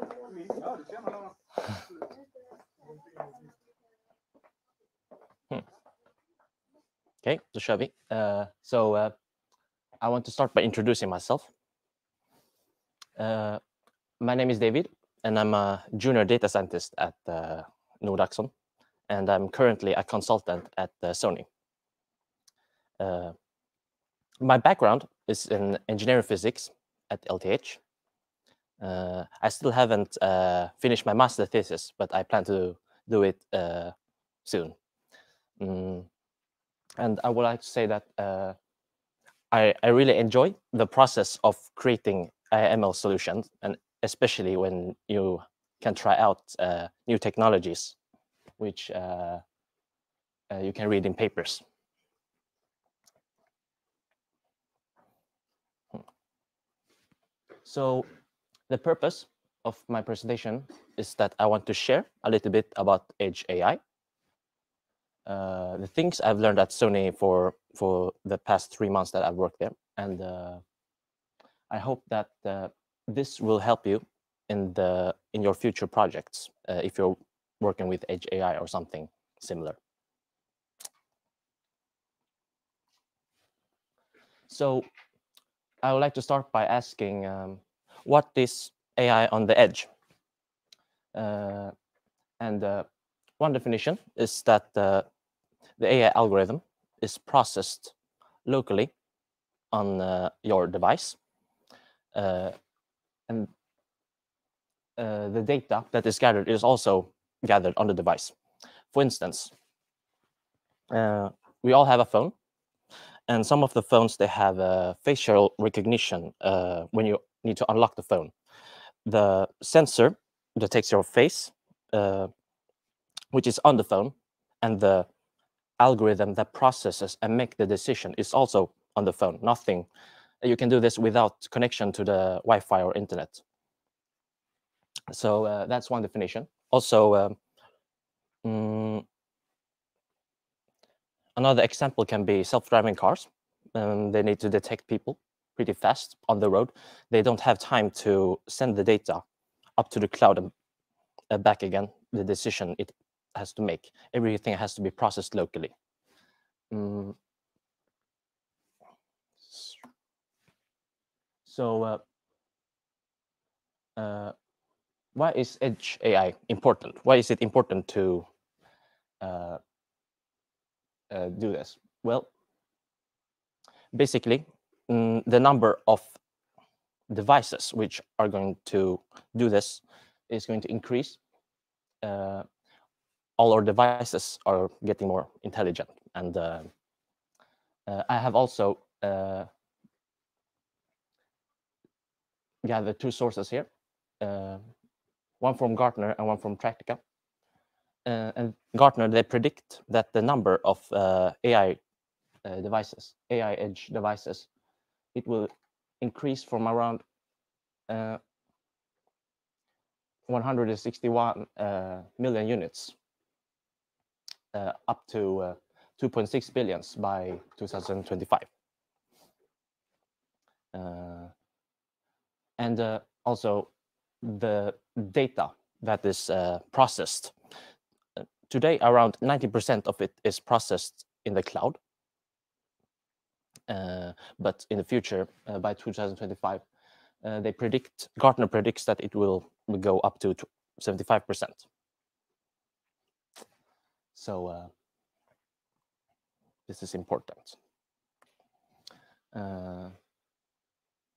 Why is it important? Um, also, uh, as I said before, it allows for operations in real time.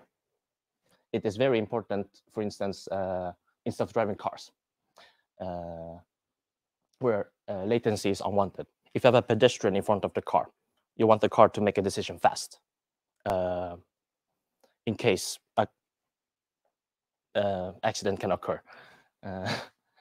And also AI-based drones. If the drone is mm, like falling down, it needs to correct itself. Uh, but there are the algorithms that can use this. But, but if you use AI, then it needs to be on the device. That's the point. And also, if you have a general purpose AI like a, a T800 from Terminator 2, it needs to make decisions fast and protect people. Uh, yeah.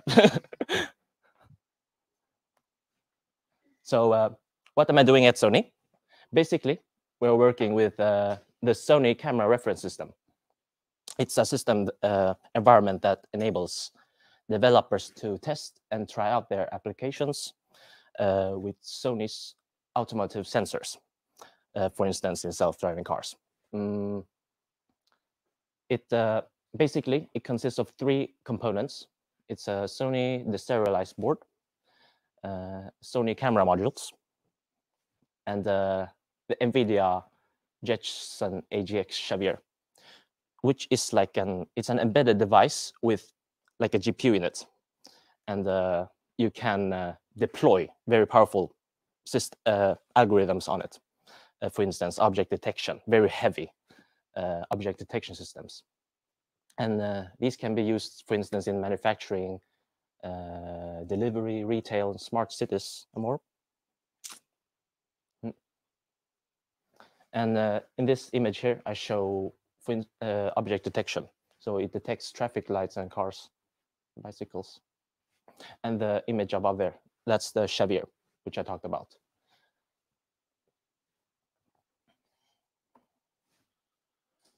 So uh, uh, what I've been doing at Sony specifically is uh, uh, we, we trained our own object detection system uh, to detect Swedish traffic signs as a proof of concept.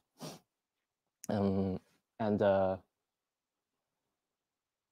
then we plan to we haven't we haven't gone to step two yet, but we plan to deploy it on the Sony camera reference system.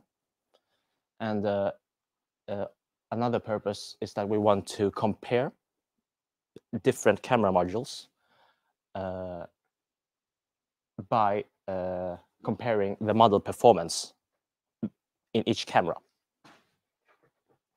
Uh, so uh, that basically sums up what I'm doing at Sony. And uh,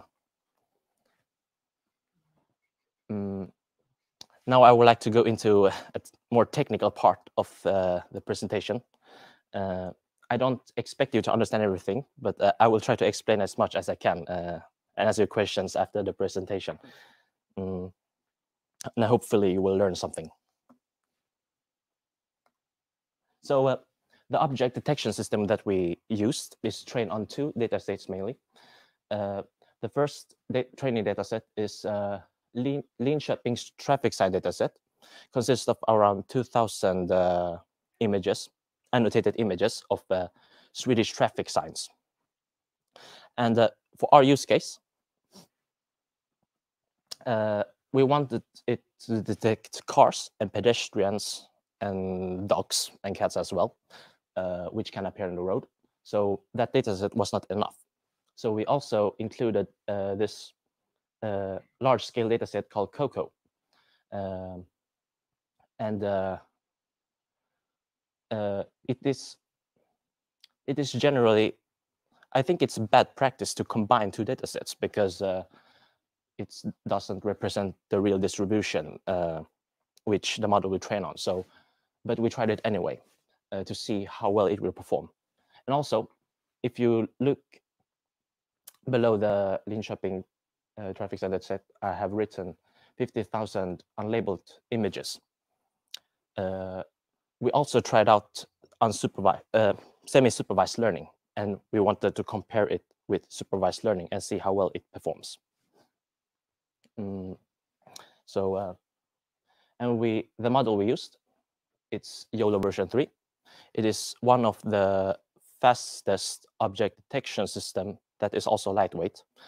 Uh, that uh, mm, is uh, one of the state of the arts uh, models for object detection. And uh, uh, the model you can see up there, that's architecture. You don't have to understand it. And this is what it produces. Um, so I would like to share with you our findings, uh, what we discovered while we trained this model. So uh, the first comparison there is uh, uh we compared semi-supervised training with supervised training.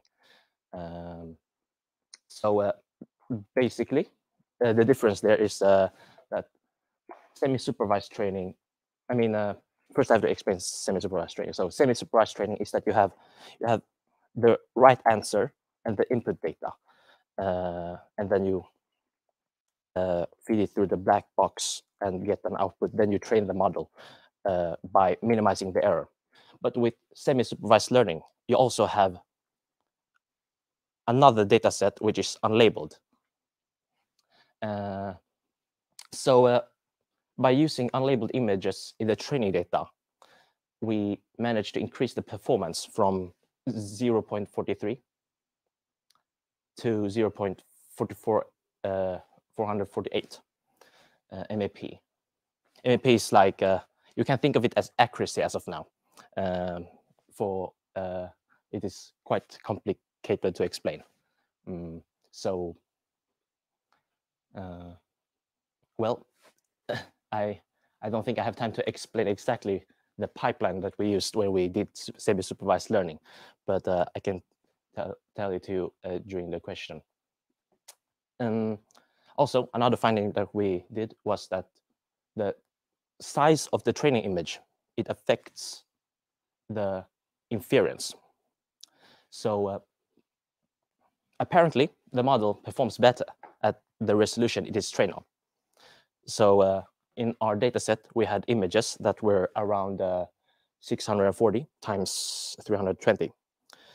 But after training, we tried to predict, we used the model to predict on high resolution images.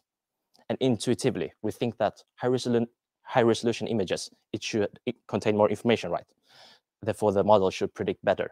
But it didn't. Uh, the model performed better at low resolution images. So if we have a res high resolution camera and we downsize the images, the model will perform better.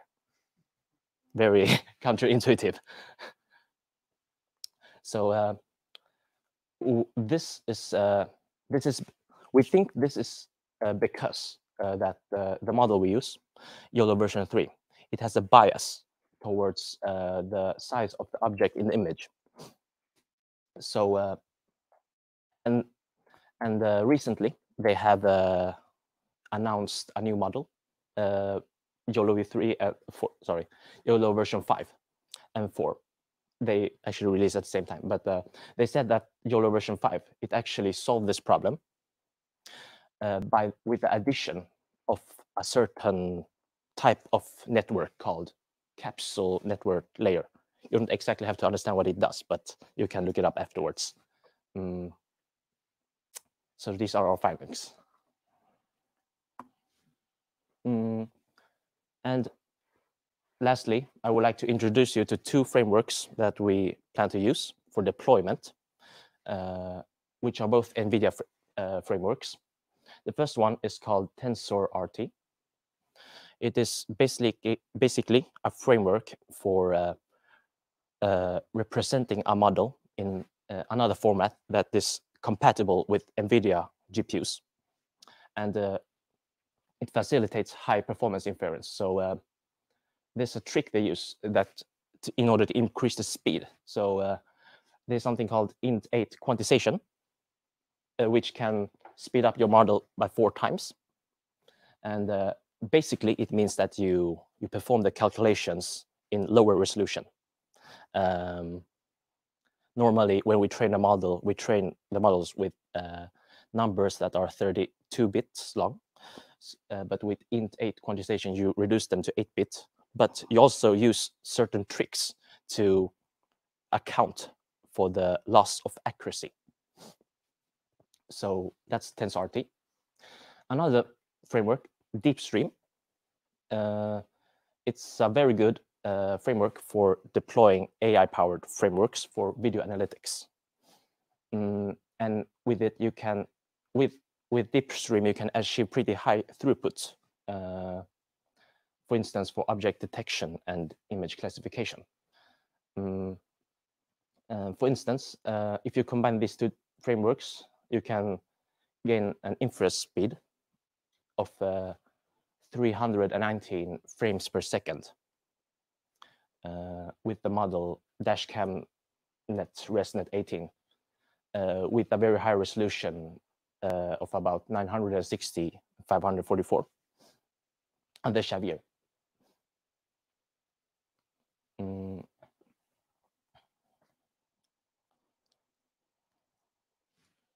I would like to end my presentation with a meme.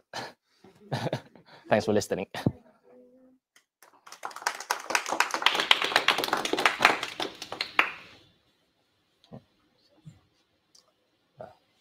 Have you tried YOLO, uh, YOLO Look uh, uh, version 5? I mean, uh, you haven't yet? Have you tried it out? Uh, not yet, actually, because the it it will be uh, complicated when we want to deploy it on the on our device. Uh, it currently it supports YOLO version three. If we want to implement version YOLO five, we have to uh, implement it ourselves. So it will take quite some time. So we haven't tried it out yet, but maybe in the future. Mm. So this platform where you're gonna compare different camera sets in, in the end, um, what what kind of features in the camera? I mean, in the camera in itself or in the camera chipset will you be looking for when you compare them?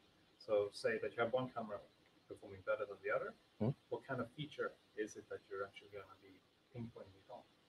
So you can compare different aspects in the camera. For instance, you can compare the ability for the camera to, um, for instance, there's a situation uh, where you can measure the camera's uh, ability to switch from light condition when it's dark. Then you turn out the lights. The camera has to um adapt itself because if it don't, then the image will it will be like blurry first, and then it will uh, be dark. Some some cameras are basically faster in this aspect, while others uh, maybe they don't think about this. then it will look bad. yeah. And uh, yeah, there are many more different aspects that you can compare. Mm, for instance, uh, objects far away, then it's basically res- resolution. And even uh, white balance or color correctness. Mm, basically, basically that. Mm. Mm. Yes, so regarding a question regarding YOLO. Yeah. So that's like an open source image recognition module, but you can add additional training to that one, which you did with the Swedish model, with the Swedish uh, road traffic sign package. So like you, you, you have YOLO, and then you add on top of that your own training. Is that how it works, or? Uh, uh, sorry, do you mean that uh, how our pipeline, training pipeline is constructed? Yeah. Uh, so basically, we have YOLO version 3. It's a neural network. and uh, with the neural network we have training data uh, which we've trained the model with. Uh, and the Linköping traffic sign dataset is uh, it's a data set.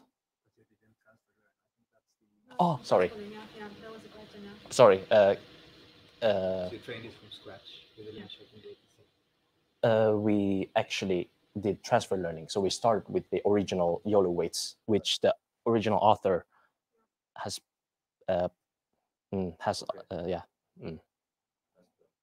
exactly, and it saves time, a lot of time. So how much data have been using now? I mean, you said uh, 2,500 from the uh, just, uh, Linköping traffic sign, 10,000 uh, that you've been. I know that you've been collecting data as well, haven't you? I Actually, that's that was a restriction uh, when I asked my manager if we could collect data. They said no, we are not interested in lab- in human labor. so uh, I has ha- I've been trying to think about methods to increase the improve the data set or increase the size of the data set algorithmically. Maybe synthesize synthesize data set by by taking a background image and then cropping cropping objects onto it like a car or a traffic sign. And uh, it didn't work well because yeah i did it very you can you can go deeper into that but yeah i didn't approach that uh, path that much. Yeah. But uh, what was successful was semi-supervised learning we used unlabeled images uh, basically so so after our first training iteration with the original training data set, we used the original model to predict bounding boxes on the unlabeled data set. And uh, then uh, we developed another algorithm to take each bounding box, crop them, and uh, basically we developed a correction algorithm in order to correct uh, the, these, these bounding boxes so that they are not false positives because the model is is not accurate right? It, we cannot guarantee that it's accurate so yeah. So basically we we annotated the the unlabeled images uh, with our original model and then we trained it on these images again uh, yeah basically that What you did, like an accuracy measurement with MPA something. Can you explain that kind of? Um, yeah, that's one. map Yeah, yeah. So uh, MAP stands for mean accuracy precision. Uh, precision is uh, a metric uh, where you compare the like out of all your guesses, how many are correct. Um, for bounding boxes, it's it's quite difficult to use the metric accuracy. Uh, so you could say that MAP, MAP, it's it's like accuracy. Uh, I, I'm working a bit about that as well. and I Hmm? think it's about the um, the overlap of a predicted uh, bounding box compared to the label bounding box. And if you say that it predict and the if the overlap is above maybe 50%, you say that it is classified as, as that in that bounding box. Hmm. So the, the overlap of the bounding boxes with with an accuracy of an yeah correct class as well. Okay, then I see what zero point five is. Okay, yeah. What is an acceptable number? uh, What is the goal of MAP? The goal is to get to one. Yeah, zero to one. So the higher the better. Mm, just like accuracy. Um, but one MAP, I don't think it actually uh, guarantees that uh, the model is performing well. You have to look at other metrics as well, like F1 score and the recall, and look at the actual matrix itself uh, to determine if the model is good. Uh, because one one one imprecision means that uh, out of all the guesses, mm, I might be wrong, but I think uh, one MA- MAP if you make zero guesses, uh, then all your correct all your predictions are correct, right? You haven't made any uh, predictions at all. So you have to look at other metrics as well, not only AMAP. So what was the hardest part in the project in the start? Was it getting the uh, Xavier in, uh, in, um, in place and you know the environment? Uh, if you you know when you start a project, I, I know you got a lot of gadgets and everything. What was the hardest part? Uh, Mm, if you could? uh, when we have to deploy it, uh, we uh, I'm affiliate. I'm very experienced with the Python language, program language. So uh, I had to learn a new programming language in order to uh, uh, deploy, uh, to understand how to deploy it in C++. So it it was challenging for for me. It was challenging to orientate in the documentation. It's pretty much to go through, but yeah, as a junior, this is expected. But yeah, I'll manage. and uh, the challenge also was the data. We had very little data, so uh, it was also fun but challenging to come up with these data generation methods. Mm. Yeah, I'm a, I'm a bit interested in the the YOLO uh, uh, network. Like it, I, I'm thinking that the the YOLO is a fast method, but it, but when you just the uh, you showed this uh, the, the structure, the framework, it looked a bit complicated. It looked more complicated than I thought it would be. So, it, can you just like summarize what the YOLO does in that framework? Uh, so You don't have to go through everything. so, so basically, YOLO version 3 is a little bit different from all the other object detection systems. It's called a single shot, uh, single shot uh, object detection system. Uh, other other uh, systems usually are two stage. So uh, in YOLO version 3, we have uh, we basically predict uh, um, like it outputs it outputs a grid and each grid contains numbers you can think of it as numbers and the higher the number is the greater the uh, it the, the higher the number the larger probability there's an object in that box Mm, so so for instance uh, the YOLO model will output this grid and it says one here but zero every, everywhere else it means that the uh, object is localized there and then in the same box, you have uh, more numbers where you can identify which class it thinks it is and how large the bounding box is. Uh, and uh, in the beginning of the network, you have a convolutional base, which is a pre-trained uh, convolutional network, which uh, can capture all the spatial information in the image uh, that someone else has trained for several weeks. And you can switch that uh, back part uh, with uh, whatever convolutional base that you want to. Mm. So in YOLO 5, they redesigned all this with this thing called, uh, mm, in this slide. Oh, no. Capsule something.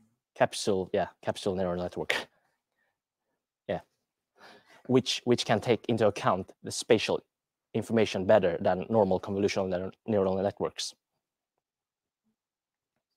When we ran the YOLO V3 on a like a standard laptop, we had a FPS of like 0.5 or something, and we ran it live. I mean, what, what kind of FPS were you getting on the Xavier, and what would be acceptable in a in a, car um, application? i would say uh, there's not an exact number but i would say about 30 maybe uh, depending on the size of the model and the size of the image that you decided to use uh, yeah but you can achieve pretty high fps uh, with the Xavier. Mm. You can also feed 16 cameras into the Xavier at the same time and get high FPS. yeah. So then a solution would be to have one central system and then just add channels of cameras in, all into that, and it will handle them all at the same time. Mm. there's actually a matrix you can look at to see the different models uh, and what how how how different the different FPSs are uh, for different image sizes. So, mm.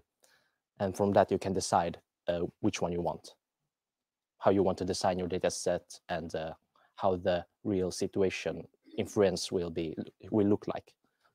Mm. Yes.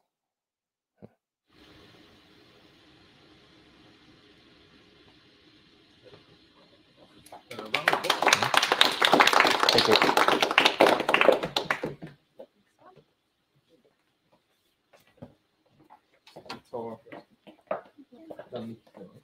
Ja, just det. Men, jag vet inte varför jag gör så här. Det var helt galen. Uh, avslutningsvis text.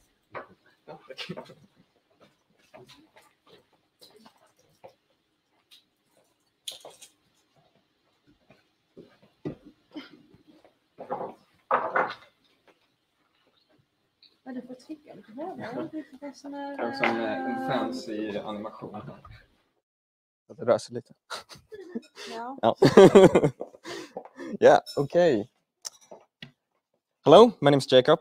I'm going to talk about object detection as well and uh, text recognition. And this is a project I've been working on, which, uh, yeah, it, it's uh, mainly about information extraction actually.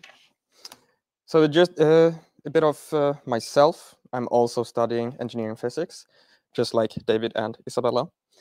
Uh, I'm focusing on machine learning and statistics. And since this February, I've been working on, at Alfa Laval on a project uh, which I'm now also continuing on this summer.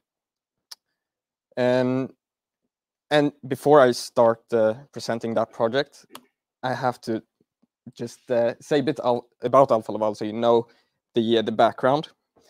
Uh, they're a big industrial company. They work with fluid handling, separation, energy transfer. They're old, very old, and meaning that they have a bit of an old mindset from time to time, but they're learning. So they're not really used to data handling, for example. And I work at the Department of uh, Service at uh, the gasketed plate heat exchangers. And that is what you see there, maybe.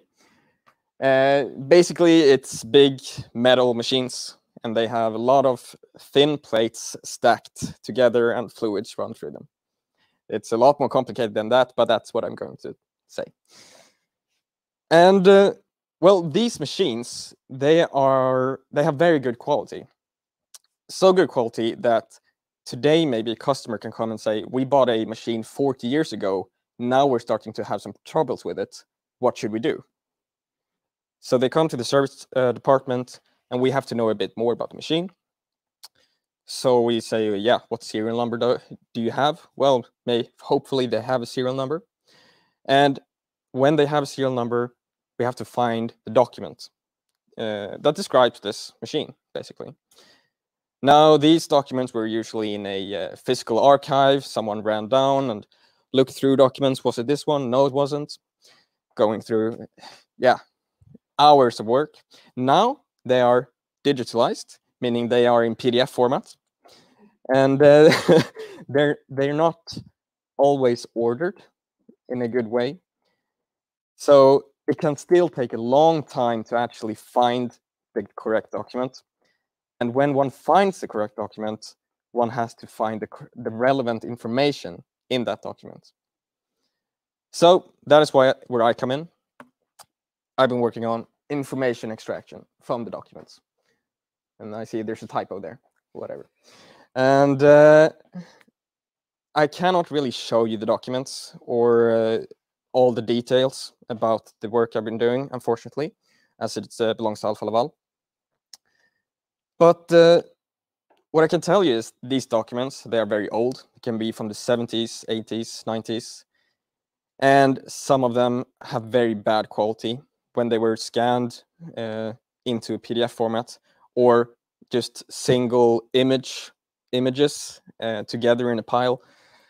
Um, when they were scanned, they can have like shadowy edges. They can be skewed. Maybe one page is skewed, another is not skewed.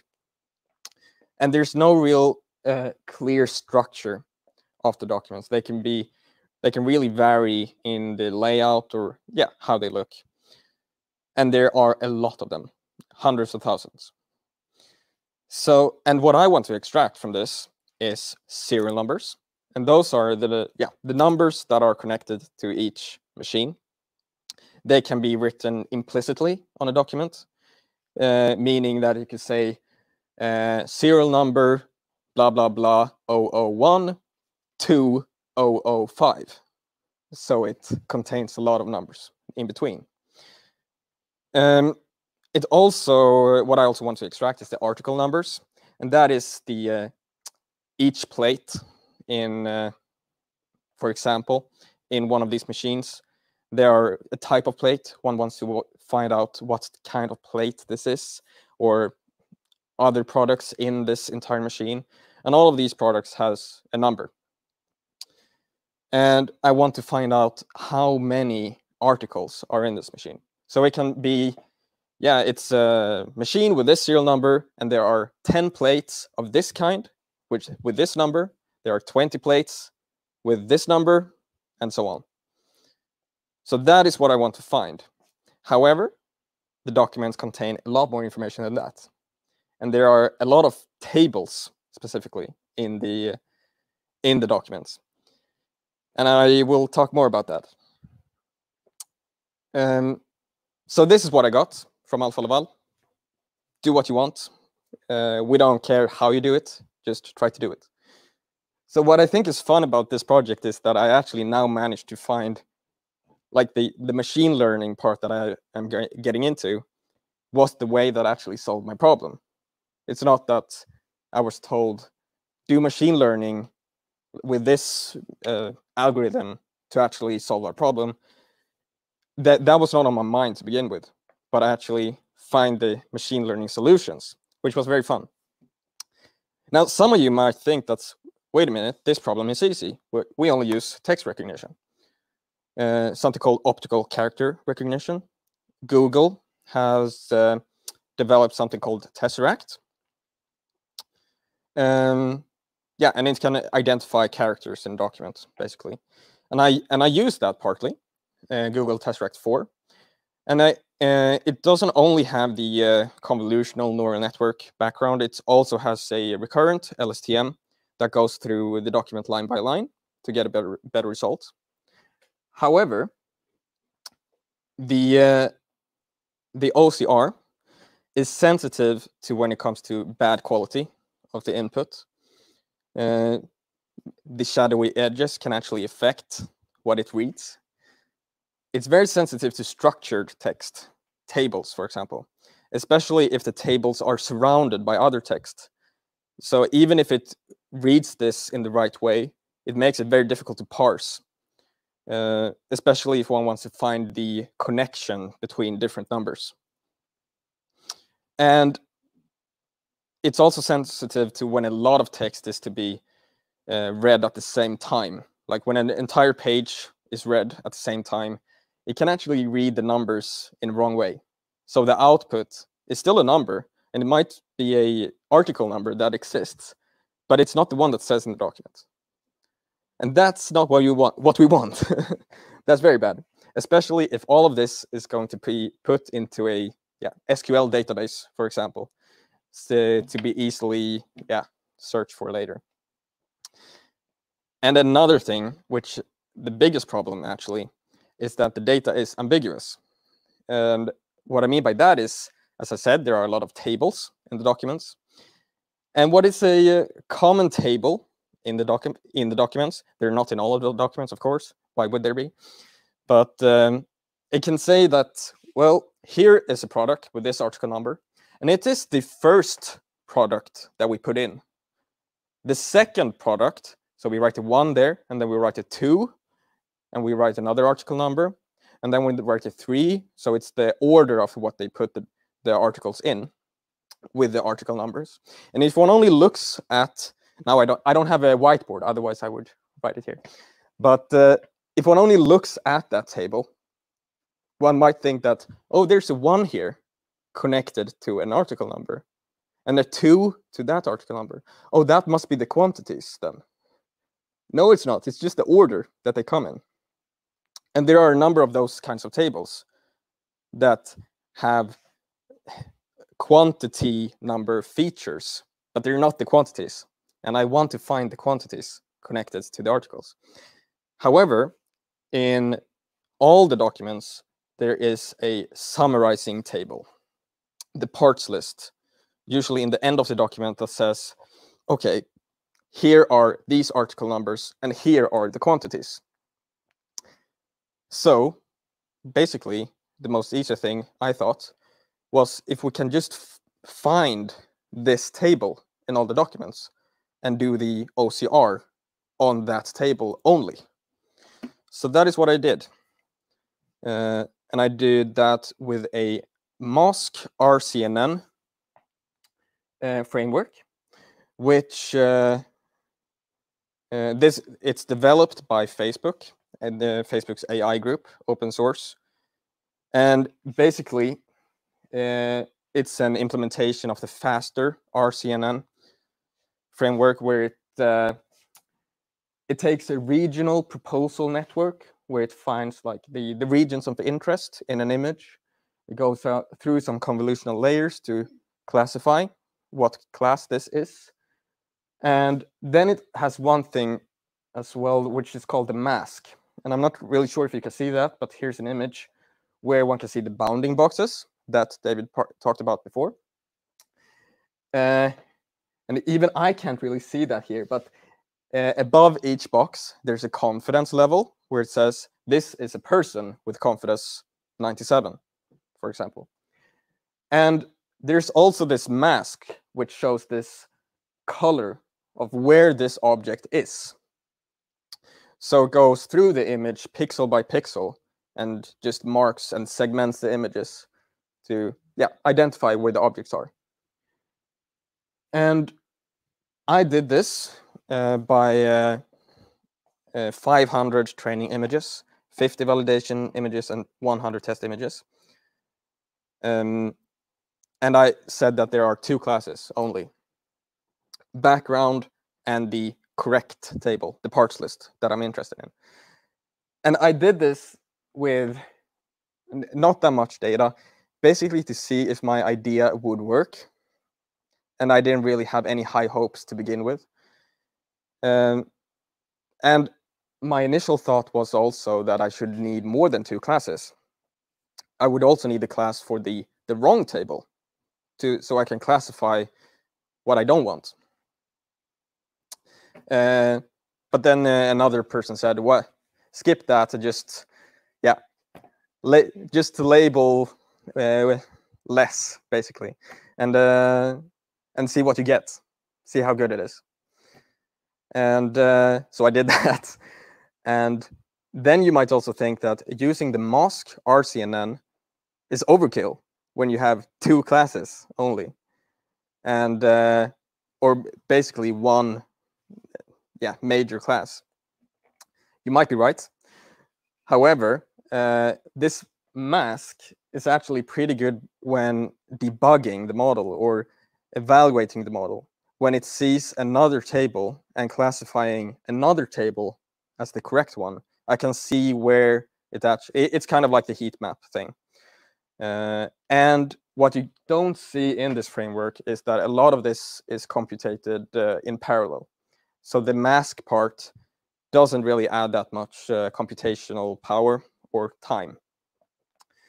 And uh, it was also very easily implemented from an open source framework. So I just, yeah, use that. And for those of you who, who are interested, it's, uh, yeah, a stochastic gradient descent optimizer with momentum. Pretty small, learning rate, weight decay, and the uh, it has a residual neural network as the backbone. Now for the interesting parts. I cannot show you the exact results, but I will, well, kind of. Uh, here, this is not a Alfa Laval document, but this is what it would look like. Uh, it actually marks a table with a confidence level and like a mask. I'm doing this on CPU power right now. It's extremely slow. each epoch takes about uh, eight hours. Uh, it's yeah, I do it on a uh, laptop, CPU power. Uh, so and we're I'm waiting to get uh, Microsoft Azure's AI platform to actually yeah, but it has to go through this Alfa Laval I- IT formal thing. Uh, but the interesting thing is even when the uh, uh, yeah i did four epochs and when i say that when you classify more tables than one take the table that has the highest confidence and say that is the predicted class then i got the uh, 97% accuracy of correct uh, of the um, classifying the correct table in a document and I got the IOU metric, and that is connected to the MAP. It is the intersection over union. So it's the uh, overlap of bounding boxes, basically, of 83%, which is pretty good uh, when thinking that this is not a complete model. This is nowhere near a complete model. This is just a very simple model. And then I uh, just to see if, the idea con, uh, is working as well. Just I uh, do the OCR on just the predicted bounding boxes, and the result is so much better.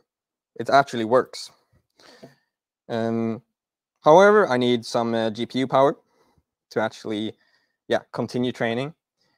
The I could show you some loss graphs, but they're yeah they're four data points right now, so it's not that interesting, and just continues to go down. So that's good.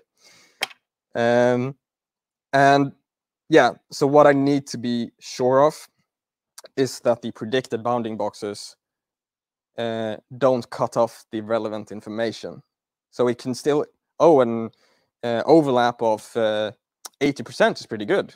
Well, that depends where the overlap is uh, say for example that we have the an uh, article uh, in the parts list this article and there's 511 of these articles and i cut off the five and i put in the database that there's 11 of these then the uh, error is pretty big so things like that has to be considered but just yeah i'm in the midst of training and the results were a lot better than I thought they would be of just doing a, pretty much a baseline model. So uh, yeah, that is pretty much it. Thank you for listening. Any questions and thoughts? So you actually knew it's, it's very unstructured data you had, PDF files. Yes. You actually knew where you didn't know actually where this table is. You know it was a table at least. Yeah. So we're looking for not uh, so it's a it's text in a table.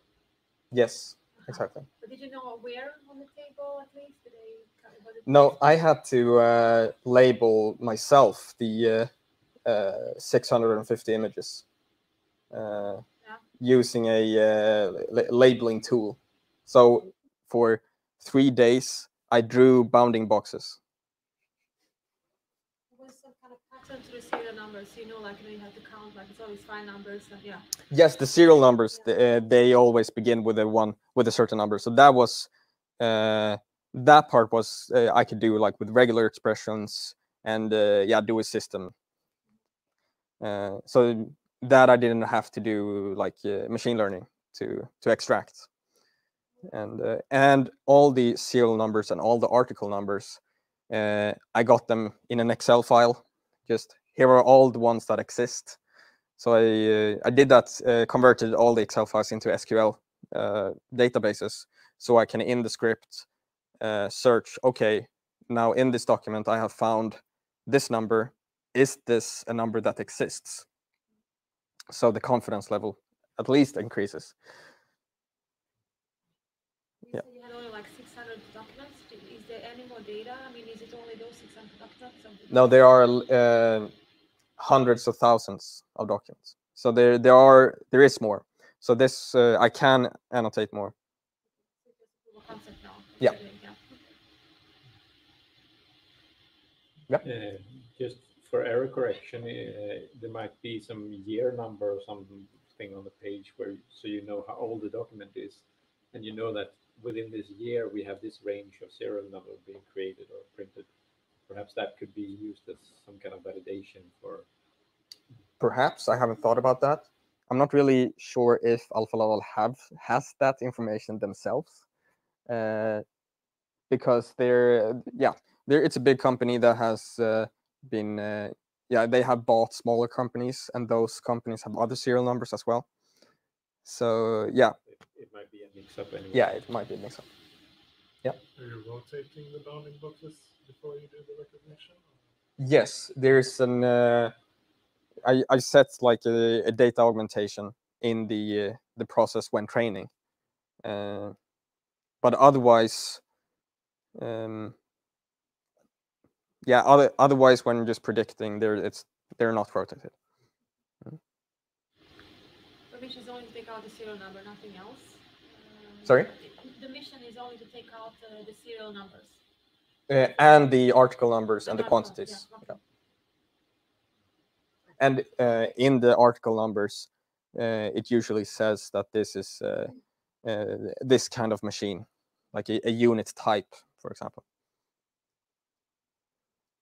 There a specific reason for you wanting the uh, the amount?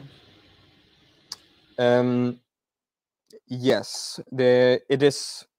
Um, for example, I, I'm not sure about all the details in the heat exchangers themselves, but for example, there could be a uh, a heat exchanger with uh, uh, maybe 300 stainless steel plates, but then there are 10 uh, Titan plates or titanium plates, and when this and then the customer says we have this specific error and the product expert would say hmm this is probably because of the titanium plates and then i know there are 10 of them so i can just order 10 spare parts and send that to the uh, service provider Uh, so you want to create a database where you have actually the specification of the content of each machine Yeah. uh, in the database as well. it, it is a it's meant to be a um, a tool to help the uh, the salespeople and the service salespeople to to order say, spare parts. I, I thought it was primarily to to identify where the document was, and then you can read the document. No. No. Okay. No. No, they, this is uh, like, yeah, you should just like write in the serial number, uh, hit enter, and then you see what uh, what products are in this, and then you can say order if you want to. But are you the only one working on this? Yes. Because it seems like a huge, like. I know. Benefit. yes, I'm the only one. Must be tires- tiresome to sort of like constant debate. Like it's a big. Yes, th- that's why I'm so glad to be here to actually be able to use other people to that know machine learning in another way. You have a Standing in the company or you get the support you need? Well, my uh, yeah, my uh, I have two uh, managers, and they are very understanding. And they yeah, uh, when I say that uh, well, I need GPU power, for example, then they are very supportive of trying to get that. So um, it's just that the uh, organization in, in itself is not used to this kind of work. So for, for example, I yeah I program a lot in the Python. I need to install a lot of uh, packages and so on. To do that, I need to be the local admin on a computer, and and Alfa Laval is not really used to workers being the local admin on a computer. So uh, th- this Monday, when I was working, they had removed me as local admin, just like in a regular cleaning process. So the that that is yeah, just basically things in there. What are you doing? We- We've been involved in a project, uh, Johan, uh, for a while for the customer Yeah. prediction. But we were allowed to run uh, things in Azure. Yeah. That was like 2017, maybe. Yeah. Yeah, Yeah, 18. yeah, yeah, yeah. But but that was not inside Alfa Laval. That No, was that in a breakout group that was Yeah. uh, made only to do like uh, Innovative things. innovative things. Yeah. So they, they had special rights to Yes, do any yes, innovative that things. Okay. Mm. It's like, But but it, it was still impossible to get data Yeah. like that. but they, it's a great company and they they are really um, yeah, in the midst of learning uh, in themselves how to do this. I mean, uh, machine learning is new to most of the companies. Yeah. Many, yeah. So, That's but like, and this is more common Yeah. in, uh, in most of the companies. So uh, Yeah. this is uh, many are in the beginning. Yeah. We are behind you. Yes. Yes. That's why we have this gathering, so Yeah, you but can hey, empty your soul here and Yeah. mind. Yeah. All right. More questions? So should we hand over to Malin? And she will wrap up everything with uh, AI Sweden, What who is is AI? helping those kind of companies. That's true. Yes. That's great. So I'm just gonna download your uh, presentation now. Yeah.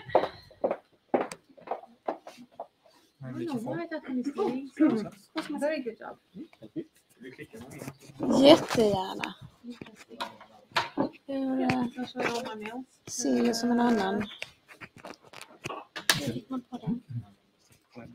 Att man klämmer Allt där, så där. Det är. Och den får vi sätta i också.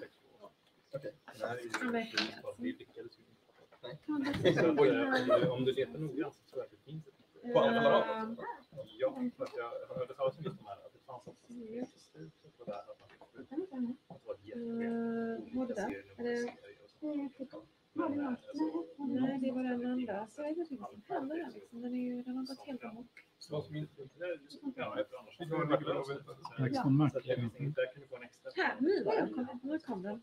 De har- De har försökt med Eh, nu. Bara som.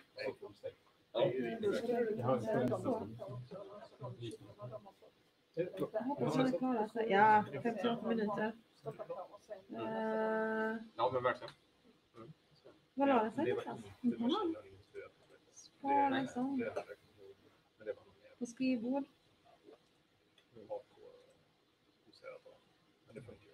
Där var det har vi eh, spel. Hjälp med att.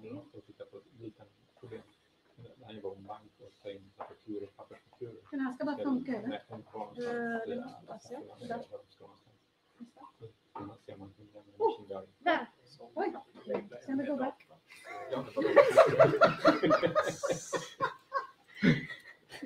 Is it the middle one? There we go. Det är nästan så att jag använder tangenter. Hierarkin. Använder tangenter och som Jag vet inte vad som är trasigt här, men det är ju med den här ju- Eh, Jag hoppas att det funkar. Ja, I know. Så vi kör på början. Alltså jag vet inte riktigt hur den äh, tänker med den här maskinen. Den surrar väldigt mycket. Ja. Perfekt. Där kör vi. Jag tänker mest på att jag hoppas att en, alltså en klass räcker. Mm. För att annars måste jag gå igenom samma bilder och göra liksom Ska ta bort ska den? den... en till låda på Ska varje. jag ta bort den kanske? Ja, Det eh, tråkigast. fattar inte vad den... äh, Den vill jag installera så tryck bara på Den är ju på, men den syns inte på skärmen. Malin. Nej, det vet jag inte. Aktivera den här. Tryck på aktivera det själv. Och nu.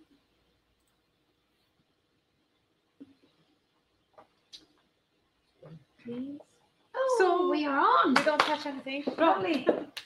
Hello, everyone. Uh, I got the honor to uh, wrap up it all and present AI Innovation of Sweden. That is a national, uh, neutral, and um a non-profit organization with the vision of uh, making Sweden is a leading nation in the holistic application of AI solution in industry and society.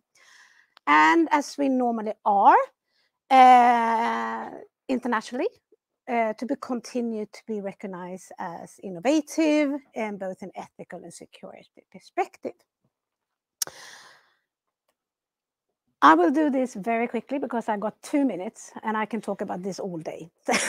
so this is my challenge today. Uh, AI Innovation of Sweden actually started as an initiative from the government and channeled through Vinnova, uh, and is one of the AI specific initiatives from Vinnova, where uh, both national and regional, regionally, we should build up data and infrastructure, an AI community.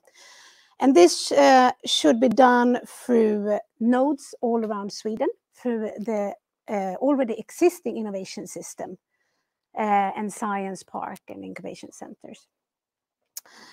Uh, and the mission is to be to build up an ecosystem and to be an engine in the AI uh, community to make sure that we are creating the activities and tools that is needed to solve the problems for strengthen and uh, accelerating AI uh, and applied AI because we have a lot of great knowledge within AI. We have a lot of great experts. We are very in the front of the digitalization, but we need to get move quicker when it comes to applied AI. So this was the the, the mission in uh, one and a half year ago. Uh, the, the the center opened up in Gothenburg, and uh, it created a national center, a regional center, and then during the year we have opened up in Stockholm, we have opened up in Luleå, we have opened up here in the south where me, uh, Malin Larsson, I didn't present myself in the beginning, is the node manager. And then we have Erik Wilson here, who's the project manager. And we together are establishing the, the South node. Uh, and then we also have Örebro and the East in Linköping.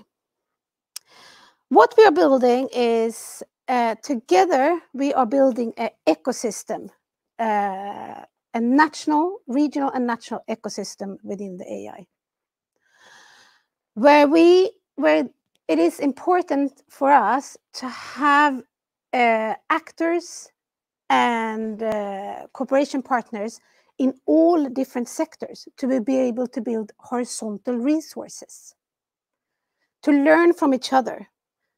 Because when it comes to ai as you know it's very much about how to uh, cross fertilize the ai that's when you really get the innovation. You can't only work in your sector, you also need to work across with different sectors because the models can be applied in different, different areas as well.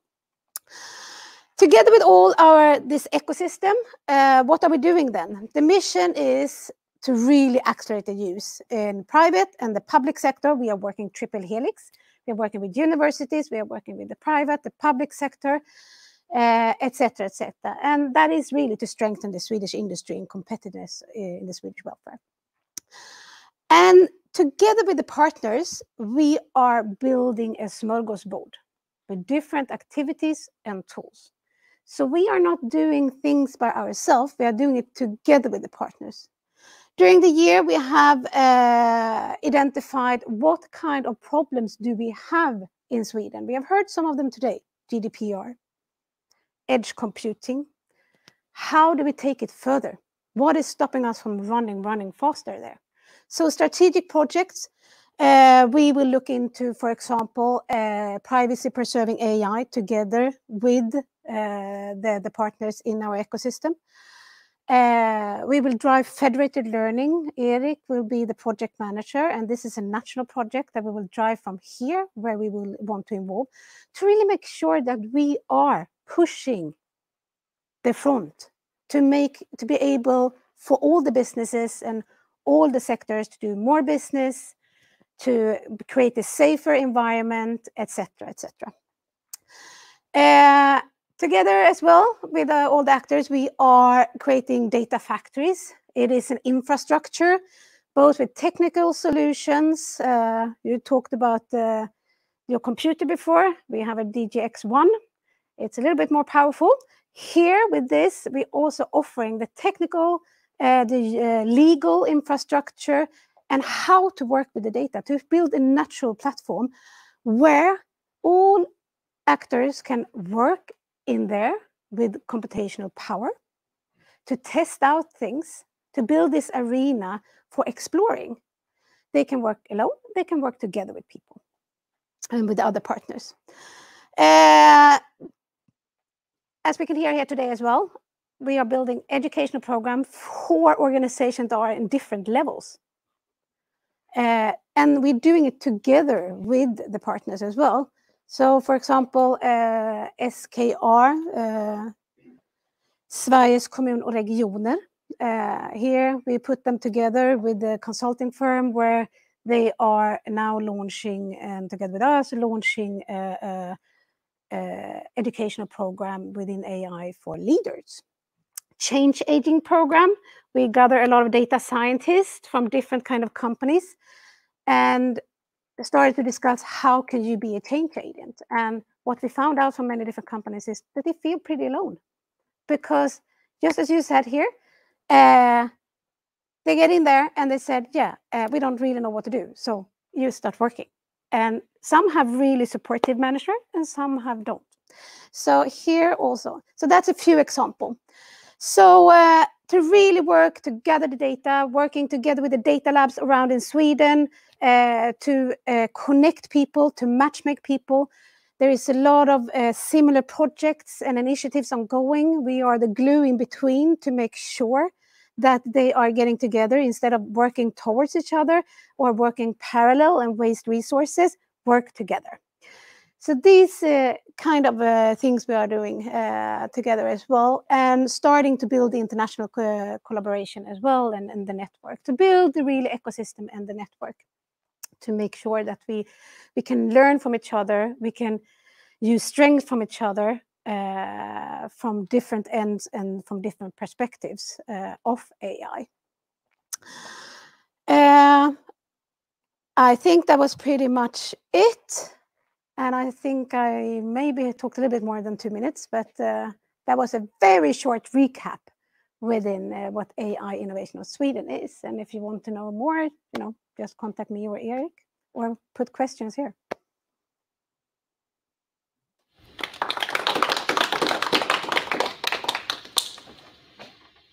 Any questions? Or crystal clear?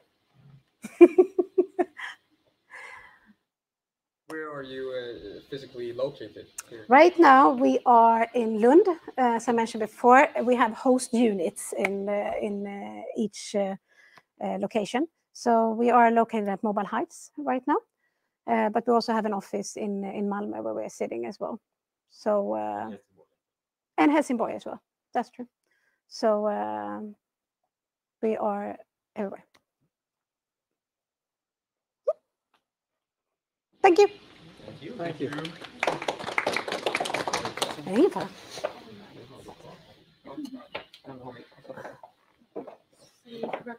fara.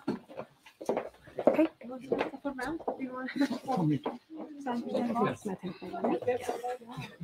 Det dansande Vi behålla den så. Oh, vill du ha mer? All right. Jag ska bara ta upp den här um, markning. Mm. Bildspel. Snälla, play with me now. See? Ah, all right. Så vi tar den sista sliden här eh, på Stay in touch. Det var, okej, Yeah. det var Swedish. It's been ex- an exciting Yeah, day. yeah, Uh, a lot of interesting presentations and, and good variation. So it was very interesting, and and uh, an extra thanks to all the presenters yeah. uh, here today. Really interesting. We had everything from sound data, a lot of sound, and we had uh, images. So that's perfect. I mean, uh, maybe next time we're going to do more financial data, time series data. That's that's that's my favorite. yeah. No, very much uh, interesting. And I also a, a big Yeah. thank you to uh, Joachim Jardenberg, who's here and uh, ma- making sure we are streamed online everywhere. Yeah. So that's Thank you everybody for watching us. I hope you did enjoy and learn a lot. um, and uh, yeah, Joachim, very thank you. Let's applaud for Joachim for helping us for this. Uh, Yeah. And uh, if you're curious to know more, uh, barrel.ai is the place to start. And from there, you can find us on Meetup. You get all our events and, and uh, follow us on LinkedIn and Facebook. Mhm. Uh, and if you have any suggestions or want to create events uh, or find out more, the Slack channel is open to to ask questions, and uh, you can find us on the email as well. Mhm. So Yeah, very simple. Melina at barrel. Uh, AI and Johan at barrel.ai. David is also co-organizer, so David uh, at uh, barrel.ai. Yeah, you got it. Um, yeah, I don't know. That's probably all that we have today, I would say. yeah. So once again, thank you very much. Until next time. Until next time.